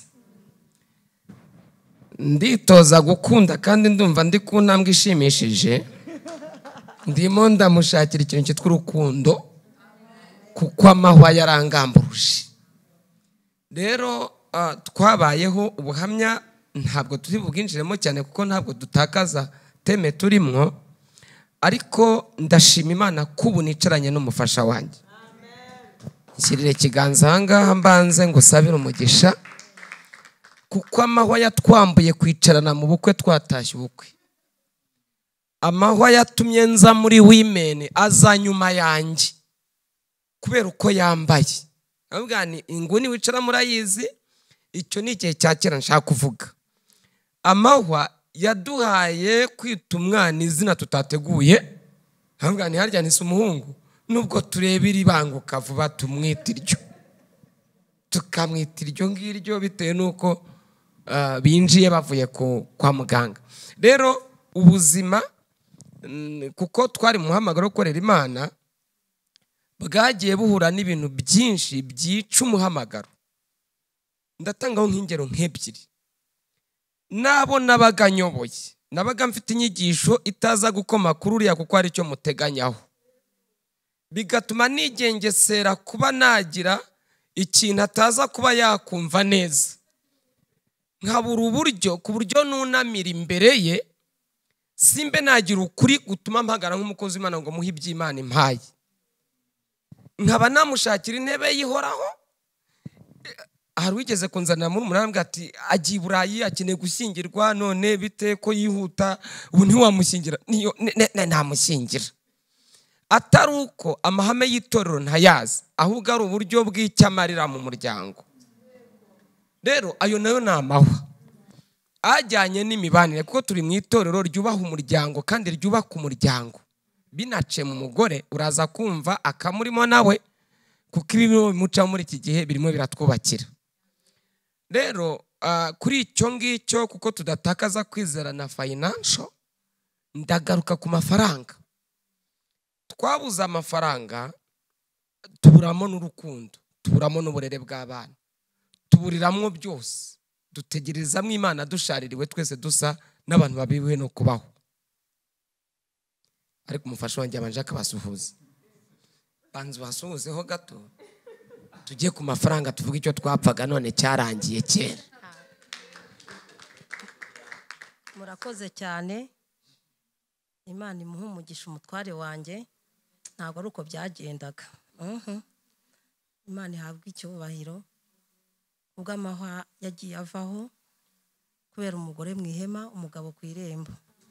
Kandi imana imuha umugisha nubwo ibyo byose yabikoraga yakoreraga imana. Kuko we yataza kubaha imana ntabwo mba ndi ahangaha icyo ndakimushimira cyane reka nkomeze muhe arangize ku mafaranga nanjye arampa tuvuge Eh, ku mafaranga rero turashimira umushumba wacu hariho inkuru uvuga ukaba wayambarira amarineti izuba ryava ukayivuga umushumba watubereye igitereko kitabaza kiri ahirengeye watubereye umucyo utwikurura umwijima w'ubuzima twarimo. Ndatanga ingero ebyiri. Twabagaho ubuzima bubaririza hari igiterane gishyushye ngo bazantumire tubone icyo kurya. Amashuri yabaga agiye gutangira warakoze komisiyo nka bya bindi twumva kuri mwene data ushakisha korari zaronshinga ngo bagwerekereshe cumi na bitanu veni tarani mbese ku buryo ubaho ubwira imana ngo ko mwandangaranye nta marayika wandangira igitane kiri gisenyi. Ubwo buzima bugatakaza icyo wagatanze kiva mu ijuru ugatakaza icyo wagahaye abakirisito cyitwa kwizera imana ukaba ujarajaza umutima utyo icyo rero turashimira umushumba wacu. Isi ibyumve wemera ko imana ikoresha abo yahamagaye. Abyumve. Ku mafaranga turashimana ko tutakibayeho uko kuko uyu munsi abana bariga neza. Hariho ubuhamya buriho ubu wenda ntaratwikura ariko bugomba kuzatwikururwa. Kuko igikorewe mu mucyo cyose kizengurukwa n'umucyo. Kuba hafi y'aya mavuta no kubaha iyerekwa aho ritujyanye byatumye duhumuka. Byatumye duhumuka. Abana bacu babanza kubona imibanire yacu. Babona uburyo tugendana. Ubundi ntiyamenyaga niba nsohotse ntiyamenyaga igihe na yo nagendeye ntiyabazaga ngo ugiye he? Ariko uyu munsi wa none dusohoka dufatanye. Uyu munsi wa none tujyana gusenga. Uyu munsi wa none tujya gushaka ishuri ry'umwana tujyanye abana barabanza babona iyo shusho nziza ibereka ko papa na mama bari kumwe. Ntacyo abana barakubaza. Barakimbajije. Amahoro avuna reka mbabwire. Kuba umugabo yari ari ku irembo umugore ari mu ihema ni ukuri naravunitse. Ariko nubwo navunitse nabibonyemo umusaruro kuko kubaha uwiteka ni bwo bwenge kandi kuva mu byaha niko kujijuka. Tukimara gukizwa iyo wakijijwe ukajijuka umenya uburyo usenga. Ndashima imana abana barambajije ngo ariko mama ni ukuri bisigaye bimeze neza? Ni ukuri cyane. Reka mbabwire uzi kugira ngo umugabo agende wenyine nawe ujye gusenga ukwawe nanaza ntakubaza ati mwiriwe mute? Ariko mwese mwitwa ko muri abakozi b'imana. Ariko nkihangana nkavuga ngo bifite iherezo. Iherezo rero turirimo. Turirimo ni ukuri imana ihabwa icyubahiro kuko twatabawe. Byari bigoye byari biruhije cyane. Nanamubaza reka da. Nanjye reka da. Nkavuga ko se ko turi abakozi b'imana. Ibi bintu bi- bi- bizagenda gute? Abana ko bakumbuye se? N- n- nza- nzabyitwaramo nte ariko abana barambajije kuko bamaze gukura. Barambwira papa mama papa nawe bimeze neza. Imana yahinduye amateka. Ni ukuri mwana nimubibona imana yarahinduye ni ukuri abana barabibona turagendana turirirwana tugatahana nijoro ubu ni ntabwo byashobokaga. Ntabwo byashobokaga kandi turi abakozi b'imana. Kandi abo hanze ntibabimenye ariko mfite ihwa. Kandi nawe afite ihwa. Eh? kuko iyo atarifite ntabwo ari gukorera imana. Ariko imana ishimwe. Ni ukuri n'ubu ndacyabimushimira. Iyo adakorera imana neza ntabwo mba ndi muri mwe ntabwo muba mumbona ntabwo mba ndi mu mugore mu ihema ntabwo mba ndi kumwe n'umushumba wacu mwiza. Ni ukuri reka akomeze avuge. Turacyavuga. kuko umwanya ari muto twavuga byinshi ariko gishongore yavuze ati ntereko ni magana atanu abantu bashobora kuvuga ngo ibyo bihe bya magana atanu byararangiye ngo ubwo se icyo gihe cyagaruka. Igihe kiracyahari keretse iyo abantu bibuze mu gihe. Hari pasita manzari wenda we ya- yaba abiziho gato ni we nabashije gukopeza nagiye mu mujyi ejo bundi. Nsanga umuntu arimo afite amata aryoshye. Ndamubwira ni mpa amata njyane mu rugo. Arayampa ngeze kimironko umuntu arambwira tufitemo iki ni amata ati mpamvu muha agapaki kamwe. Akamwe abandi bagira ngo ndimo ndacuruza. Bahita baza bati natwe duhe. Bati nangahe? Mpita nshyiraho igiciro. Ni agapaki ni igihumbi. Umuhungu wa mbere ukanguye ati ni ayangaya ahubwo twari twarayabuze baragotomeye mbonye bungorobanye mbona sinzazengurukana amata. Ntira umuhungu urinda hariya etaje ari hafi y'amarembo ya gare kimironko. Ntiwarisha ahantu nirariza aya makarita angahe? Hatishyira amarike ejo uzaza uyatware. Nyarambikamo. Bwarakeye abantu bayanyweho bagarukaho na yaraje bagira ngo ndacuruza. Ngira wa muhungu ntitujye gukodesha rero wa muryango. Umuryango ndawishyuye. Bukeye. Abantu bayobotse aho bati haba amata aryoshye. Ibyo gishongora babwiye ntabwo igishoro ari ubwinshi bw'amafaranga. Igishoro ni icyo dukura mu mitekerereze. Aricyo umushumba yadukozeho umurimo. Tubyemere tubyemeze n'abatabyemera. Kubana n'umucyo umurikirwa n'umucyo. Kubana n'uwahamagawe kubana n'amavuta aguha ibyiringiro byo kwizera imana ariko udasaba. Udacuye udapfa ugenda. Bizana ihumure. Bwarakeye abantu bateze ni amata nyine cyari n'ibiryo. Mpita nandika akapa kanditseho ngo fasiti fudu nkubitaho fasiti fudu nzana ipaniri mu rugo dore umudamu wanjye ikindi kintu nagutwaye ukaba baranegekeye harya.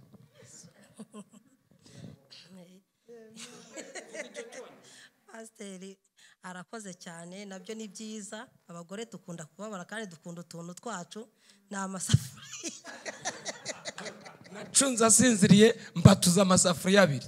Iyo nyajyana kimironko nkubitamo hahandi nca mu ma etaje ndashaka kuvuga intego turimo ntabwo twayitakaza.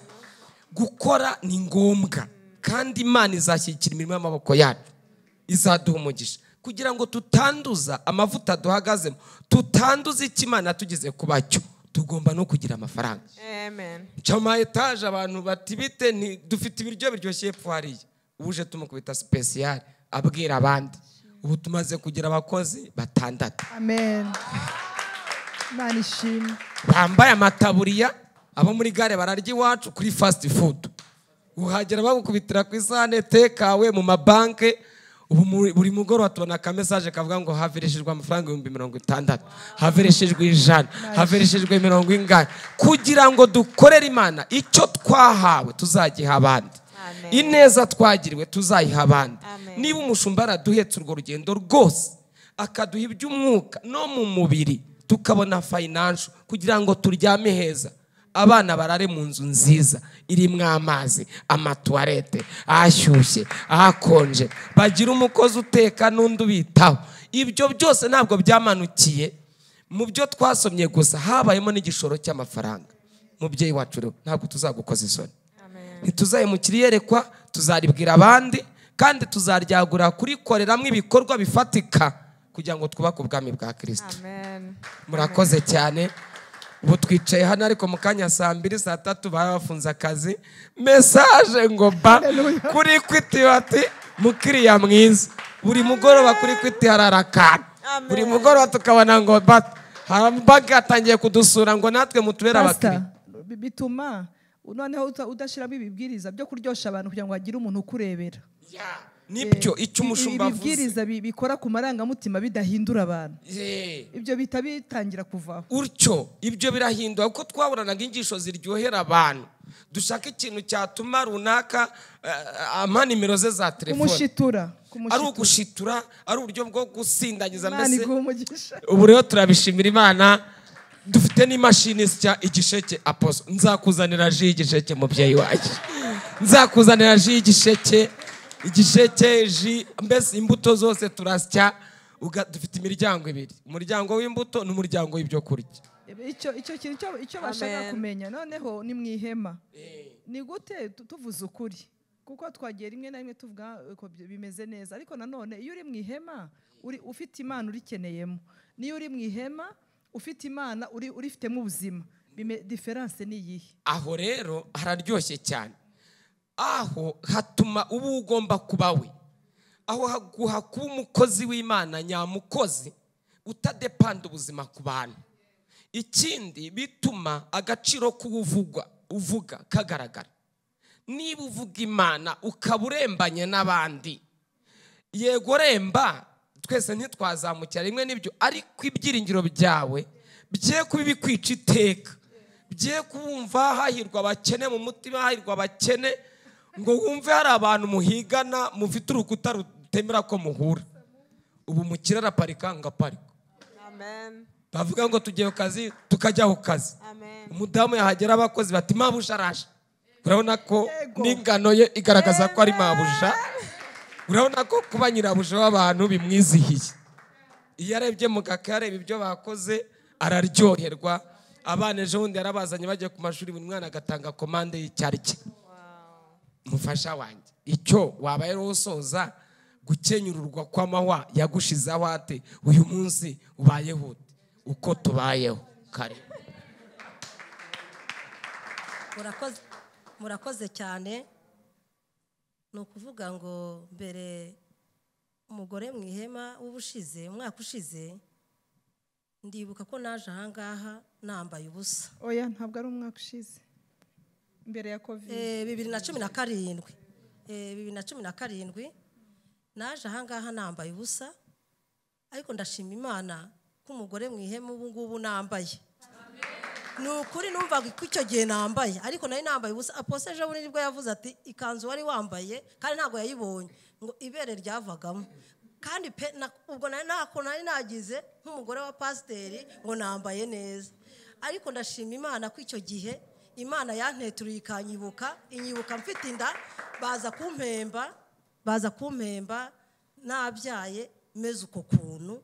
Ndi mu mahwa nambaye nabi kandi ndi muka pasiteri ariko ubu ngubu ubuzima bwarahindutse nambaye neza ndi muka pasiteri bigaragara neza amahwa yarahandutse mbese ndi mu- mu mugore mu ihema umugabo mu irembo tumeze neza ari mu buryo bw'imyambarire mu buryo bw'imibereho myiza mbese tuhagaze neza n'abana bacu. Imana ihabwa icyubahiro kandi imana iha umugisha ni ukuri ntabwo biba byoroshye abatware bacu ntabwo baba batwanga. Kandi ubundi ndashima imana ko mbere ntabwo byashoboka ngo mvuge umutware.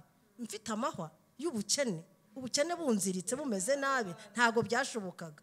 Niyo yavuga ngo ngo umufashe ngewe ntumvuge iyo twagera aramubwira ntumvuge bitewe n'ubukene dufite bitewe n'imyambarire mfite nkaba ntumagurutse.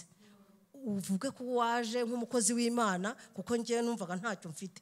Impamvu ni iyi? Nambaye nabi nkenyerewe ku mahwa y'ubukene amafaranga ariko reka mbabwire amafaranga araryoha. Nawe bitabe biraryoha cyane. Nu- ubu ndi kuyasaba ngo aze nanjye nkore umurimo w'imana. Nkore umurimo w'imana nanjye ndi mama pasiteri ntanga urugero. Ni ukuri pe aba mama pasiteri bararushye. Bararushye ba- hari abarushye ariko ntibabivuga. Usibye gusenga byonyine imana igakora imirimo n'ibitangaza ika- ikabambutsa. Ndashima imana rero kubw'umushumba wacu waduhisemo. Imana imuha umugisha. Ni ukuri agatuma aya mahwa twari dufite aya mahwa nari nyenyereyeho ko yavuyeho tukaba tumeze neza. Imana ishimwe. Amen. Imana ishimwe cyane. Tugana ku musozo w'ikiganiro cyacu hari mwene data ngiye kubaza karine. Abantu bose bavuze bakomeje kuvuga kuri vision kuri vision um, alice avuze neza avuga vision avuga uburyo bwo yaje avuga gukorera imana n'inyungu ziri mu gukorera imana. Nagira ngo mu magambo makeya kugira ngo dusubize ijambo mushumba utubwire wowe vision ikumariye iki? Ni iki yakwigishije kugira ngo ube rwiyemezamirimo uri umudamu mutoya gutyo kandi ukorera n'imana? Murakoze. Ah, nk'uko yabivuze nitwa karine nkorera imana muri iyi vision uh, mu murimo wa protocol. Ah, icyo vision yamariye s- sinshaka kuvuga byinshi ariko naje ah, mbabaye. Ndi umugore ukenyereye ku mahwa ariko sinari umukozi w'imana nk'uko babivuga. nzi ko muri vision hari eh, aho bavuga ngo eh, abantu baciye mu buzima bukakaye ariko ntibemerera imitima yabo kwandura. Naje mbabaye ndi mu buzima bwo kurira ubuzima bw'akababaro nde- nca- na- nabivuga ndi umusinga mama Eh, ariko uko nakomeje guterana uko nakomeje kuza mu nzu y'imana nk'uko mugenzi wanjye yabivuze alice ni byiza kuba gutinda ahantu. Ukamenya umusozi uhagararaho um, ijambo ry'imana riravuga ngo nzahagarara ku munara wanjye ntegereze. So nategereje ku munara wanjye nategereje hano muri iyi vision hanyuma igihe kigeze ndatabarwa. Natabawe nte? Eh, natabawe turi mu giterane cyitwa abagore twese hamwe cya all women together bibiri na cumi na karindwi ni ho mwene data nagiriye ubuntu mwene data akampa itike y'ubuntu yo kujya hanze. Nari nsanzwe nkora bizinesi utuntu duto duto njya i bugande nk'uko gishongore yabivugaga umuyaga wo ku mupaka turawuzi cyane turara tugenda. Hanyuma mwene data aza kumpa itike yo kujya dubayi urumva byose byaturutse ahangaha ndagenda ni ho natangiriye ubuzima bwo kwikorera. Nta kibazo mfite eh, ngenda naguka mu buryo bumwe cyangwa ubundi. Ariko icyo nshaka gushimira imana cy'aya mavuta cy'iyi vision- icyo yamariye byatumye eh, nguma ahantu hamwe. Sina sinajarajara nk'uko um, bijya bigenda cyane cyane ku bantu bibana bak- bakiri bato bafite imyaka mike. Nabonye ahantu nkorera imana nguma hamwe hanyuma ndatabarwa pe. Mfite abana bato ariko hari aho bageze hari aho nanjye ngeze muri bizinesi yanjye. Ndabishimira imana mbishimira n'umubyeyi wanjye uh, vision bearer kuri guidance ye uko agenda adufasha mu bintu bitandukanye uko agenda aduha umurongo ngenderwaho. Ya ndashimira imana kuba muri aya mavuta ntako bisa. Amen. Imana ibaho umugisha cyane aposo twagira ngo tugana ku musozo umuntu abura iyo yumva twumvisha ubuhamya buvugirwa ahangaha ari abashaka kujya gucuruza cyangwa batazi ko bafite n'izo mpano. Bakwicara nawe ukabashyiramo imbuto ejo bakaza bavuga ibyo bagezeho. No ku mbaraga batari bazi ko bafite. Kubaka bari bagiye kubivamo bahura nawe ejo tukumva barimo gutanga ubuhamya ngo nicanye n'umushumba namaze guhambira. Ariko ubu ngubu mbyaye abana bangana gutya. Twumva byinshi byinshi umuntu akumva wenda mu mvugo y'ab'iki gihe twavuga ngo uri power house nagira ngo utubwire ubwire n'abadukurikira. Wenda ngo credit simbizi ariko aposi ibyo turimo kuvuga nibaza ko ntabwo bitangaje ababyumva kuko twebwe tura n'ibihamya. Ntabwo ari inkuru ntabwo ari ibyo twasomye tugira ubuntu bwo kuba turi kumwe nawe. Tukiri kuri iyi sitimu na kino kiganiro udusoreza. Tubwire ngiye kuvuga ngo imbaraga aho zikura birumvikana ko uvoma aho uvoma turahumva. Ariko gira icyo ubwira abadukurikira. Ubu bucuruzi bwose guha umuntu ukamwereka inzu tuwarukora iki ngiki bigakunda. Ngewe nihereyeho. Twumvishe benshi. Ariko nanjye munyemere mvuga akantu gatoya. Nkorera imana ah, full time ahangaha numvaga gukorera imana nta kindi nabibangikanya na byo.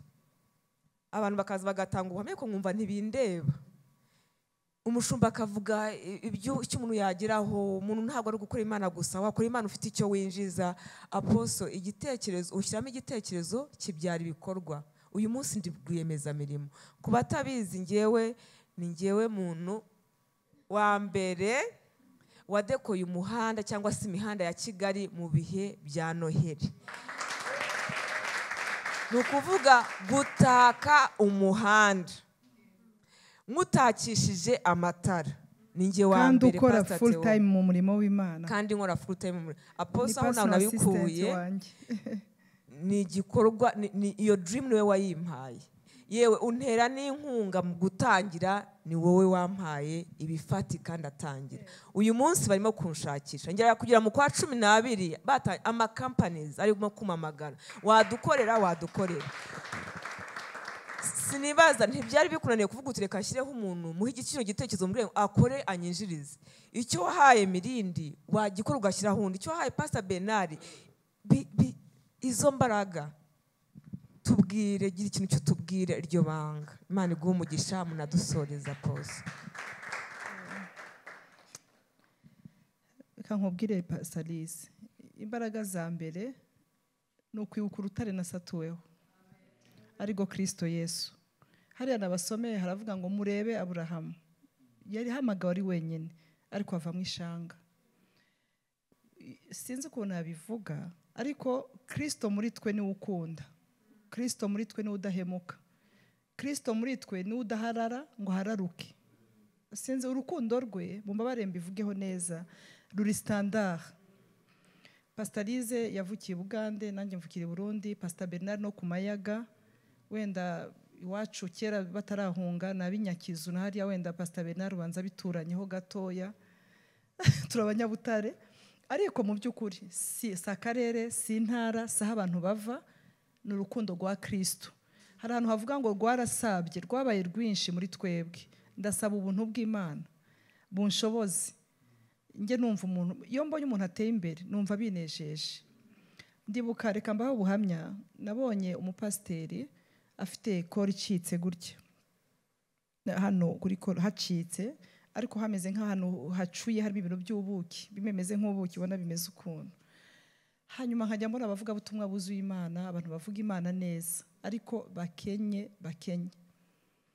Numva ngize umutwaro. Ni yesu wawumpaye ko sinavuga ngo ni iki? Ariko dusubiye inyuma nagiraga umutwaro wo kubona abantu bababaye abantu batishimye. Niyo umuntu ashaka kumpana nk'ubonye ubabaye numva uba umpaye igihano. Iyo mbibonye sinkunda kubona abantu bababaye. Ni naho ni nawo muryango satani yagiye akoresherezamo rimwe na rimwe iyo abantu babonye ugira umutwaro cyangwa se urukundo rw'abantu hari ababikoresha kukumanipira cyangwa se kubikoresha mu nzira itari yo. Ariko ikintu cyampaye imbaraga ni ukubona ko hari umuntu nigeze kubona par exemple nkabona nka gishongore duhuriye ku kicukiro. Tugahura ku kicukiro reka tujye muri reality. Eh, tugahura ku kicukiro ngiye gusura umumama wari utuye aho ngaho nkabona umwana mutoya. Uje iri shuri riri kuri sonatube universite ni bwo ryari rigitangira. Ari umwana ufite ababyeyi bamukunda ababyeyi beza ariko baba mu ntara iwabo ni icyangugu ariko ari muri kigali. Nkatekereza nk'umugore nanjye ukiri mutoya yego mfite abana bato nkavuga ngo nk'uyu munsi umwana wanjye ndi hano muri kigali. Ari los angeles cyangwa se ari ahandi hantu ntafite umuntu wabasha kumuroha kumufata aba amaboko y'umwana wanjye. So akaba ari ko mbona gishongore ari mu mujyi wa kigali. Nkavuga ngo uyu mwana naba mu mujyi wa kigali ntagire umuntu ushobora kumumenya. Hariho ikintu kimwe. Hariho kuba, yavamwo umuntu muzima cyangwa se ejo bikaba bibi. Sibyo noneho icyo kintu kikaza si kuvuga ngo wenda wasenze wagiye mu mwuka oya. Ariko ukumva ubonye iterambere ukumva uri kubona ko ari ryo terambere ryawe. Mu by'ukuri sinzi kubaho ubona abantu banezerewe n'ibyo byishimo bibaho muri iyi si. Kubona abantu banezerewe. Kubona abantu bavuga imana nkabona teo pasita teo nzi wa kiruhura aza kuduha ubuhamya hano. Ntabwo yigeze yinuba nk'uko yabivugaga. Afata moto agasubirayo ari umusitari muri kiruhura. Ririya jambo inzahari. Eh, avuga ngo wa wundi wari inzahari yarazahutse. Eh? sibyo imana yarabaye ebenezeri mu buzima bwa teo iyo mbonye pasitori teo nkabona n'umugore we nkareba ubwenge bw'imana. Nkareba ibintu byiza bafite. Atari kuvuga ngo bagiye harvard bagiye muri za universite zikomeye ku isi. Ariko ukabona uyu munsi ashobora kuba mu mujyi wa kigali atibye yarabuze abana be ababyeyi be muri mirongo icyenda na kane akaba umugabo wifashije. Wumva iyo akubwiye ngo arabona ageze wumva wasapotinga ahandi yageze wumva washigikira bya bindi yagezemo. Mu by'ukuri pasitarizi ntabwo nakubwira ngo ni ibiki imana yabwiye aburahamu ngo aho uzareba hose ndahaguhaye. Ndibuka mbwira pasitarizi ibintu byo kudekora umujyi wa kigali. Nagiye ahantu muri amerika ahantu bita pasadina muri california mbona badekoye hejuru. Badekoye umujyi kuri noheli. Bawudekoye ahantu hose. Ngenda ndeba mu birere burya kubona. Imana yabwiye aburahamu ngo icyo uzareba cyose ngo ndakiguhaye. Burya ibintu utarabona pasita ntabyo uzatunga. Njya mbona abantu mu mayesikaratori i burayi bagwa bagwa. Ariko kuko narebye filime z'amaseri kera nkiri mutoya. Za sud za sisi za kera. Narazirebaga nkareba ukuntu abantu bagenda ku mayesikaratori gutya. Nkareba ukuntu ayizamutseho nkavuga ninjye burayi sinzagwa. Kuko nabirebye umunsi nagezeyo ntabwo naguye. Hari ibintu tuzakandagiramo tugasanga twari tubizi rwose. Rero imana yabwiye aburamu ngo icyo uzareba cyose ndakiguha. Uzi ibyo bintu? Byatumye mvuga ngo mana nzasenga ariko nzanareba. Hari abantu birirwa bavuga ngo mana ngo uratubwiye mu byumba by'amasengesho uzampa imodoka nziza. Ntarasura no ku kagera. Ngo ajye kureba uko hasa. Avuga ati ariko izi modoka zisa zite? Murabyibuka. Muribuka pasiteri nako pascal atubwira ati "Na- nazengurutse ahantu ati mbona ikimodoka ndagisura. Burya reka mbabwira ibyo ubonye urabitunga. Urabibona ukabivuga ukabyizera kandi noneho muri Yesaya cu- gatatu ndumva cumi haravuga ngo abakiranutsi babivuge. Babivuge ko bazagubwa neza. Ariko mwavuze ngo tuzamera neza. Muzi ko ari abakiranutsi ngo abakiranutsi babivuge ko bazamera neza. Ni ukuvuga ngo bazatera imbere bazashisha. Ariko nanone ngo imana izahiki imirimo y'amaboko yabo. Pasitarizi rero nagiye mbona abikora mu buzima bwanjye. Ushobora kuba ubona andi pasiteri ndi apotre numvise ntashaka kugira ngo nzabe mu rusengero. Njye mbona abakirisitu mbigishe gutanga ntatanga mba umupasiteri ubwira abakirisitu ngo tanga icya cumi ntabanje kugitanga. Ndavuga ngo mana ndakwinginze rero. Ubwo mbonye wa mupasiteri umeze kwa kundi uzampa amafaranga njye mfasha abapasiteri. Ntabwo nigeze nsaba imana kuzaba pasiteri nasabye imana impa uburyo nzajya nshigikira abakozi b'imana. Hanyuma irangije muri kwa kwizerwa guto iranampamagara.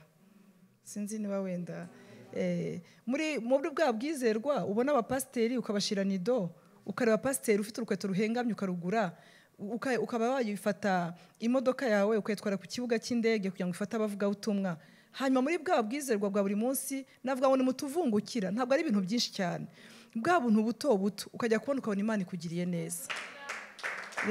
Nuko byagenze ndavuga niba bishobora gukora ku buzima bwanjye kuki bitakora ku bandi? Ndiyizi njya muri commercial nkagura ibitisi nkabikata. Sinzi ko muzi ibibubu bajyaga bakata bagafunga hamwe bagafunga n'ahandi. Biriya narabicuruje.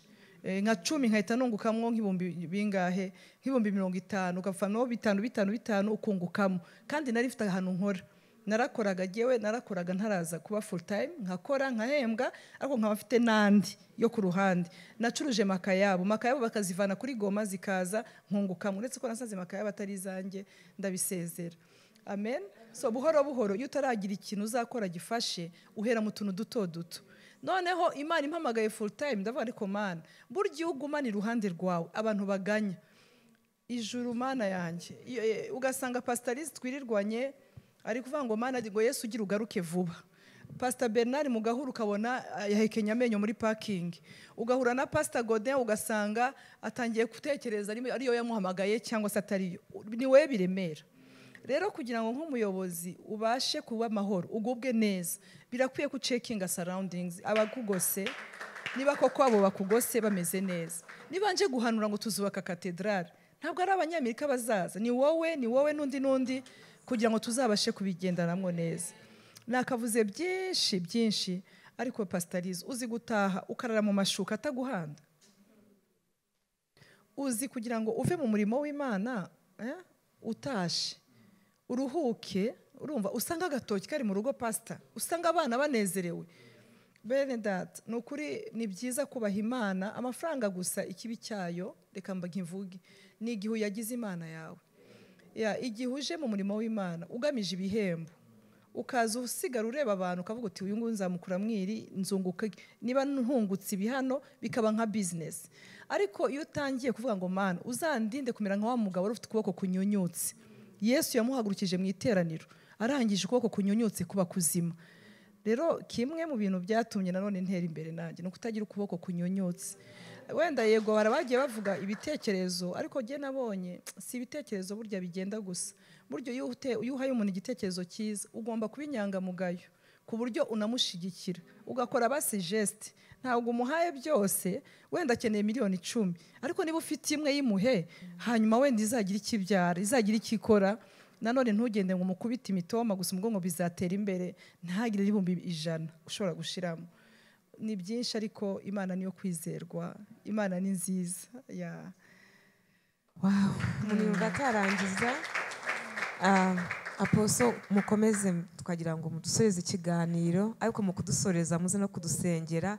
Hanyuma kuri twebwe niba wumva uhamanya nanjye uvuge amen. Kuri twebwe tutazagira amafaranga imana yacu. Udusabire kubona amafaranga mu izina rya yesu. Twebwe na- n'abakurikiye kino kiganiro bumva bifuza umva amafaranga. twakuze. Reka mbabwire. Ndashaka mu ndebe. N'abari kureba ndebe twakuze batubwira ukuntu yesu yavukiye mu biraro. Si byose ni mu eh? pasita yavukiye? Eh. ariko ntibatubwire abanyabwenge. Bazanye impano eshatu. Bagahora batubwira ukuntu yavukiye ahantu ni uko yesu yavukiye i betelehemu bamume mumuvure. Eh, nyinshi cyane. Ah, twari tuye mu mwuka cyane. Kuko yaje ashaka. Ariko naje gusanga icyatumye ajya hariya muri uriya muvure. Iyo bamuraza mu ihoteli murabizi ko bibiri ivuga ngo bashatse mu byumba byose mu zindi ndimi baravuga ngo bashatse muri guest house mu mahoteli nko kuwajya mariyoti ukajya serena n'ahandi. Bashakisha ahantu hose hazwi kuko ntushobora kujya kurara muri serena utanditswe. Ntabwo warara mariyoti batagufite muri sisiteme noneho kugira ngo bamukize herodi imana imukize herodi iyo ajya kurara mu ihoteli bari kumuka bari kugwa muri kumwica. Hanyuma rero imana ijya kumuhisha hehe? Aho mu kiraro. Eh, bamujyamisha mu muvure bamuhisha aho ngaho kugira ngo herode atagira ate? Ariko ntabwo bwari ubukene. Babivuge cyane ngo ntabwo bwari ubukene. Icya kabiri cyatumye ajya hariya ni ukugira ngo ubudehe bwose buzamwibonemo. Ariko mwavuze ngo amen. Yesu ashimwe cyane kuko iyo avukira mu ihoteli bari kugira ngo ni imana y'abakire. Ariko kujya hariya ari abakire barimwo ari n'abakene bakavuga ati yavukiye muri kabuhunde cyangwa se yavukiye karuruma. Bati wa mugabo ni uwacu twese. Ufite niyo mpamvu yonyine. Naho ubundi ikijyanye n'ubukene nta burimo. Abanyabwenge barebye ibya yesu bakiri kure barareba. Baravuga ati uyu ni umwami usa umuntu watura ibintu biri feke ikintu cya mbere twamutura twamuha zahabu. Ye baba we turatwara icyome turatwara n'ishangi. Ni ukuvuga ngo abantu b'abahanga. Ubu bwami bw'imana ntabwo ari ibintu biciriritse ntabwo ari ibintu biri cipu ni ibintu birimo abahanga birimo abanyabwenge bazahaguruka bakava kure bagakurikira inyenyeri. Rero inyenyeri bazakubonaho si amasengesho no kuvuga indimi nyinshi gusa. Ahubwo ni rwa ruganda ushobora no guhagarara ukarubonamo imana. Nakira umugore w'umunyamasengesho hano uvuye kenya pasitarize arabizi. Uzi ko uriya mugore najya no kumwishyura hoteli ntazi ko akize kundusha? Noneho pasita ndagenda muraza mu ihoteli sinzi ko mubyibuka umugore w'umunyakenyakazi wigeze kuza kera araza tujya ku karago turagumana. Tu- agiye kuduha ubuhamya. Nsanga ni we utanga isukari muri kenya wezi uruganda rwe. Isukari mu- muri- mu nani muri kampani z'indege ahantu hose abantu bose bakora mu ruganda rwe. Bambaye amantuza eh? ya n'abanyamasengesho bo mu gicaniro cy'amasengesho yatangije muri kenya. Baba bari ku isukari bari muri labra sandarama bapakinga bakora ibintu byose. Umugore imana yamuhaye umugisha ibuha umugisha imirimo y'amaboko ye wagasenga bagapakira abanyamasengesho bagahembwa aba hafi n'abakure bagahembwa bakagubwa neza. Rero ihema wa- wa- wabayemo ukaribamwo rwose ukaribamwo neza. Ni ukuri imana niyo kwizerwa. Ndumva nshaka kugira ngo ku kwezi buri muntu wese uri kunyumva aho waba uri hose. Iri hema uribonemwo nka yayeri ihema yari rifitemo inyundo ihema yari rifitemo ntuza amata ihema yari afitemo n'uburiri yari afite n'ibiringiti. Burya sisera kugira ngo amutikure siriyasi yabanje kumukubita ikivuguto. Mu ihema arangije aramupfuka. Sisera amaze kugubwa neza amaze kumera neza amukubita muri nyiramivumbi. Hari ibintu udashobora gukubita muri nyiramivumbi udakoresheje inoti y'idolari. Ariko mwavuze ngo ari- ariko muvuga ayi we. Ni ukuri ni ukuri hari abazimu gusa wa mugani. Pasiteri karisite yaravuze ngo hari abazimu ngo ukubitira mu ibubu. Yesu ashimwe cyane. Hari abazimu buryo udashobora gukubitira mu bindi bintu byose. Urumva hari abazimu ukubitira muri hanimuni bakavuga ati sha uzi ko pasita bernard avuye? Reka mbabwire ibintu bimwe byabaye. Umukozi w'imana teo n'umudamu we bavuze ngo yavuze ngo ngo, yabonye pasiporo ngo avuye hehe? I bukavu. I bukavu niko yavuze si byose? Numvise nabi. Eh? ni bukavu yavuze ni kongo nyine. Eh. hanyuma numvise bukavu sinzi ukuntu nabyibajije ariko naketse ko utajyanye n'indege. Eh, ntabwo wayigiyemo rero ngiye kwica umuzimu wo kutajya mu ndege. Hari, hari, sisera mukubita mukoresheje amafaranga. None jyewe teo muri region nashaka ajye kenya cyangwa se uganda we n'umugore we. We n'umugore we? Umva aho bazarara i bugande aho ngaho. Iminsi itatu nzishura ihoteli n'indege zabo ni ukuri rwose. Yes. Kuko- oya. Ndashaka kugira umuntu umbwira ngo mu ihema hagomba kubamo inyundo Eh, bene data reka mbabazi iyo turi mu masengesho murambura. Ndababaza iyo turi mu masengesho murambura. Ariko burya iyo uyarimo ukananegosiya n'ibibanza ukananegosiya n'amatafari ukuntu ahiye wibereye mu masengesho. Ugasohoka hareruya ni ukuri ni ibintu byiza cyane. Ni ukuri hari abakirisitu buriya hari abapasiteri bajya babazwa n'abakirisitu bagiye. Ariko bamwe atari urukundo. Ni ukuri ndashimira imana reka nkavuge uyu munsi iyo hari nk'umukirisitu ntibikabe cyangwa se umukirisitu watakaje ariko utakagombye kumutakaza kuko hari abakirisitu imana izana mu biganza byawe ikaba yabatwara mu bindi biganza kuko eh, igihe misiyo yabo irangiye. Hari n'abandi atwarwa n'umwanzi satani. Ariko hari n'undi ugenda gusa kugira ari satani umwibye kugira ngo atakaze umugisha ahantu yagombaga kuba. Ariko ndashimira imana ko iyo mbuze umukirisitu simbaba- simbabazwa n'umukirisitu wampaga icya cumi cyinshi. Sinzi urabona hari abantu abona umuntu agiye akavuga ngo shango ni we watangaga amadolari magana ane ni ukuri ngo kandi twajya twishyura ngo mu izina rya yesu ngo turamukuruye. Ntabwo nakurura umuntu kubera amadolari ahubwo namukurura kugira ngo mana ntatakaze mission y'imana iri ku buzima bwe sinzi wenda aka kantu ko mukumvise ntatakaze icyo imana ishaka ku buzima bwe. Ariko atari kuvuga ngo murebemo imi- imipango. Mm, hari igihe ureba arize gutyo ugatangira kumurebamo amadolari azatanga mu kwa mbere.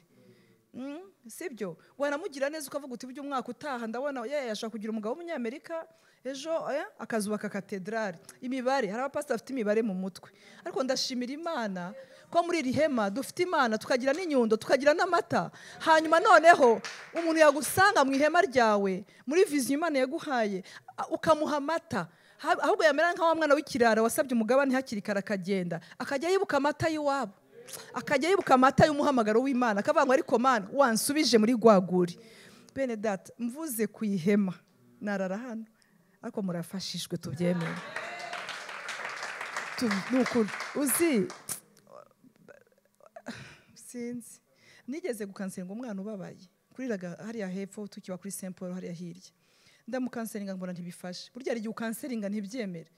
Kandi ubundi ndagerageza burya. Iyo nahaye umuntu umwanya ndawumuha. Ndamuganiriza nkajya mureba neza. Wapi? Hmm. yari umwana w'umuresikape wabuze ababyeyi bose ubabaye. Ndamuganiraho ko kangahe tuzatahana? Twaratahanye. Mutwara muri betikava mu rugo. Araryama. Kera. Ndabizi ko aravuze ngo mana yanjyanye nanjye. Noneho mukubita muri betikava noneho nza kumureba sinamukanseringa. Ntabwo ubyibuka pasitarize ya noneho ndamusanga ndamubaza african tea ati sha arakigotomera. Ndagaruka ntisosiso mbona umwana arakize umwana yararambutse oya african tea sosiso ngaruka ngaruka. Bwagiye gucya arambwira ati nta muzimu n'umwe usigayemo kuva mu birenge kugera ahantu hose. Ndumva ndamahoro uwo ni umwe. Hari undi sindi bumuhishe we yitwa jetruda jetrude rero yaraje aza kunsezera ngo agiye kwiyahura. Ariko mu mutima ndabyumva ko atari bupfe. Yacanganyikiwe mu ihema. Angezeho mu rugo eh, buri ikiganiro cyaryoshye cyatangiye. Noneho angezeho mu rugo angezeho mu rugo arambwira ngo ngiye kwiyahura. Ni jetru ugiye kwiyahura? Ko yari umunyamasengesho pe.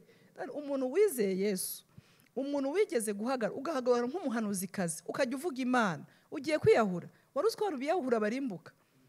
Noneho sinzi ukuntu namanutse. Bene ndetse gukunda ibiryo yari afite mu rugo? Ni affection no kubona environnement nziza. Icyo nzi cyo nuko nazanye capati. Urumva capati hari ukuntu kera bakoraga capati bakayivangamo amagi. Murabyibuka kera? Eh, byabaga biryoshye pasita tutaramenya ya mirire y'iki gihe za spaghetti za spinach eh, za epinari. Nuko noneho ndamuha ndamuha n'icyayi turaganira. Ndamureba ndamwana ko jetru ubu nukumbuye imfura ya Be- beneri imfura ya beneri iyi ngiyi isanzwe. Aramubwira ngo wahora n'iki se? Kumbe harimo n'ikibazo cy'ubukode. Icyo nzi cyo namuhaye amezi atatu mukubita capati. Ariho. Bene dati ni ukuri imana idu- idufashe. Idufashe kugira ngo simbizi. Ni ukuri abantu ubukene ni bubi. Eh, ubukene burasharira. Salomo yavuze neza aravuga ngo bukwambura ijambo kandi ufite ubwenge. Ngo umuntu w'umukene nubwo yaba afite ijambo biriya ni ibintu bigoye kuvuga biserereza ariko ikintu ushaka kubwira umuntu wawe uri mu bukene si uko twebwe twese ubu tudafite ibyo dukenye hariya muri zaburi makumyabiri na gatatu haravuga ngo uwiteka ni umwungeri wanjye sinzagira icyo. Ubundi mu zindi ndimi havuga ngo sinzagira icyo nifuza. Niyo mpamvu pasita Theo yavuze ikintu kijyanye no kunyurwa. Muri make sinzagira icyo nifuza kuko uwiteka ari we mwungeri wanjye. Si ukuvuga ko tudafite ibintu bimwe na bimwe tugenda dukenya. Ariko twahawe kunyurwa kandi mu gihe dutegereje ibindi twumva tunyuzwe n'ubuntu bwa kirisito rero numvaga nabwira umuntu wese uri kure umubwira ubukene ni bubi ubukene wabucamo ariko ntubuheremo. Ubukene wabucamo ariko ntibube karande yawe. Kandi noneho wige no gukora utuntu duto duto. Muri iki gihe dufite abantu benshi b'abasongarere avuga ngo ngewe ngo kubera amavuta mfite ngo sinakora biriya. Kubera amavuta mfite sinaba umuntu w'umuyaya ujya gukora. Hanze abantu baba bafite masitazi ariko akagenda akabasha no gukoropera umuntu mu cyumweru bakamuha amadorari magana atatu. Muri iki gihe kuko idufata abana tukabasigira abantu bashobora kubangiza bakabaho- bakabahohotera kandi dufite abantu bakenye bazima bafite imana dusengana ashobora kuza ukamuha amadorari magana atatu ku kwezi akajya aza akakurerera abana. Ariko kuko yumva ko eh, aho mvuka urabona jyewe wacu ni i butare mu mujyi wo muri astrida ugasanga ntashobora gukora ibyo bintu. Ariko iyo wemeye ukubaha imana ukanyurwa n'ayo mafaranga imana ikugirira neza. Murakoze cyane. Ndashaka gushimira abantu bose turi kumwe muri uku kwezi. Mukomeze kudusengera dukomeze kubasengera namwe aho mwaba muri hose. Ushobora kuba ndavuga ibi bintu uri hanze uri muri Europe se uri muri Amerika uri muri Afrique centrale ahantu hose waba uri ushobora kuba uri mu diaspora ariko ukagira icyo ukora mu gihugu cyawe. Ni ukuri igihugu cy'umuntu ni ikintu gikomeye. Bibiliya iravuga ngo nimwubahe imana. Mukabasha gutungana mukaba mu nzira z'imana. Ngo nzabaha kurya ku mbuto zo mu gihugu. Ese ko ari igihugu cyawe? Ni ukuvuga ngo aho waba uri hose ni byo eh, ufata hambaga ugira gute? Ariko genda ugure n'ikibanza. Wubahe imana ariko ugure n'ikibanza ku mazi mu gihugu cyawe. Uze mu rwanda ujye muri sake ujye mu bugesera ugure ikibanza ejo uze utangire ushireho fondasiyo buhoro buhoro buhoro buhoro. Hanyuma niba ufite imyaka mirongo ine tegura ritayamenti yawe. Urumva hari abantu basenga akakubwira ngo no ngo dufite ubuhanuzi ko yesu aje ngo turi muri maranata maranata rero yesu ashobora kuza ko gihe nkizwa nakijwe numva maranata none imyaka mpedewe ukuntu ngana. Ma- ntabwo yesu aragaruka. Hari abantu banze kubaka ngo yesu araje. Dore ntiyaje. Yanjye sinzi mutegereze ariko uri kwiyubaka. Mutegereze wigisha abana. Mutegereze utavuga ngo noneho ngo batubwiye ko ngo isi igiye kurangira. Hari abantu badatera imbere b'abarokore. Ko isi igiye kurangira. Hari abantu bicaye mu nzu ahantu bategereje kugaruka k'umwami ntibakora nta kintu na kimwe ngo bafite amakuru. Ushobora kuba ufite amakuru y'amahuri rero birakwiye yuko ugira ikintu utekereza ukubaha imana ukagira n'icyo ukora. Murakoze imana ibaha umugisha cyane cyane. Nda- ndabashimiye. Hareruya murakoze cyane. Paul yavuze ngo sinibwira yuko maze kubigeraho byose cyangwa se gusingira byose ariko icyo nzi cyo nibagirwa ibiri inyuma nkasingira ibiri imbere. Mu izina rya Yesu turamamaje n'abantu turi kumwe. Itangiro cumi na gatatu ku murongo w'umunani ngo aburahamu yimura ihema rye. Uyu mwaka wa makumyabiri na kabiri ndagusengeye ngo ihema ryawe ryimuke. Hareruya ndasaba ngo turi kuba turi kumwe dusengane. Ihema ryawe ryimuke. Birashoboka ko hari ubuzima bwiza wari ufite. Ariko imana igiye kukuvana mu rwego rumwe igushyire mu rundi. Birashoboka yuko hareruya hari ahantu umaze kugera hashimishije. Ariko yesaya mirongo itanu na kane ku murongo wa kabiri haravuga ngo agura ikibanza cy'ihema ryawe. Agura ikibanza cy'ihema ryawe. Ni byo koko ufite ihema. Ihema ni viziyo yawe ihema ni inzozi ufite ihema ni bya bindi imana yakubwiye muri mirongo inani n'icyenda ariko birashoboka ko ikibanza cyawe ari gitoya. Ikibanza cyawe ni uburyo bwo gutekereza. Ikibanza cyawe ni umutima wawe. Ariko agura ikibanza cy'ihema ryawe maze ihema ryawe ubona aho urishira. Ndagusabiye aguka mu izina rya yesu. Amen.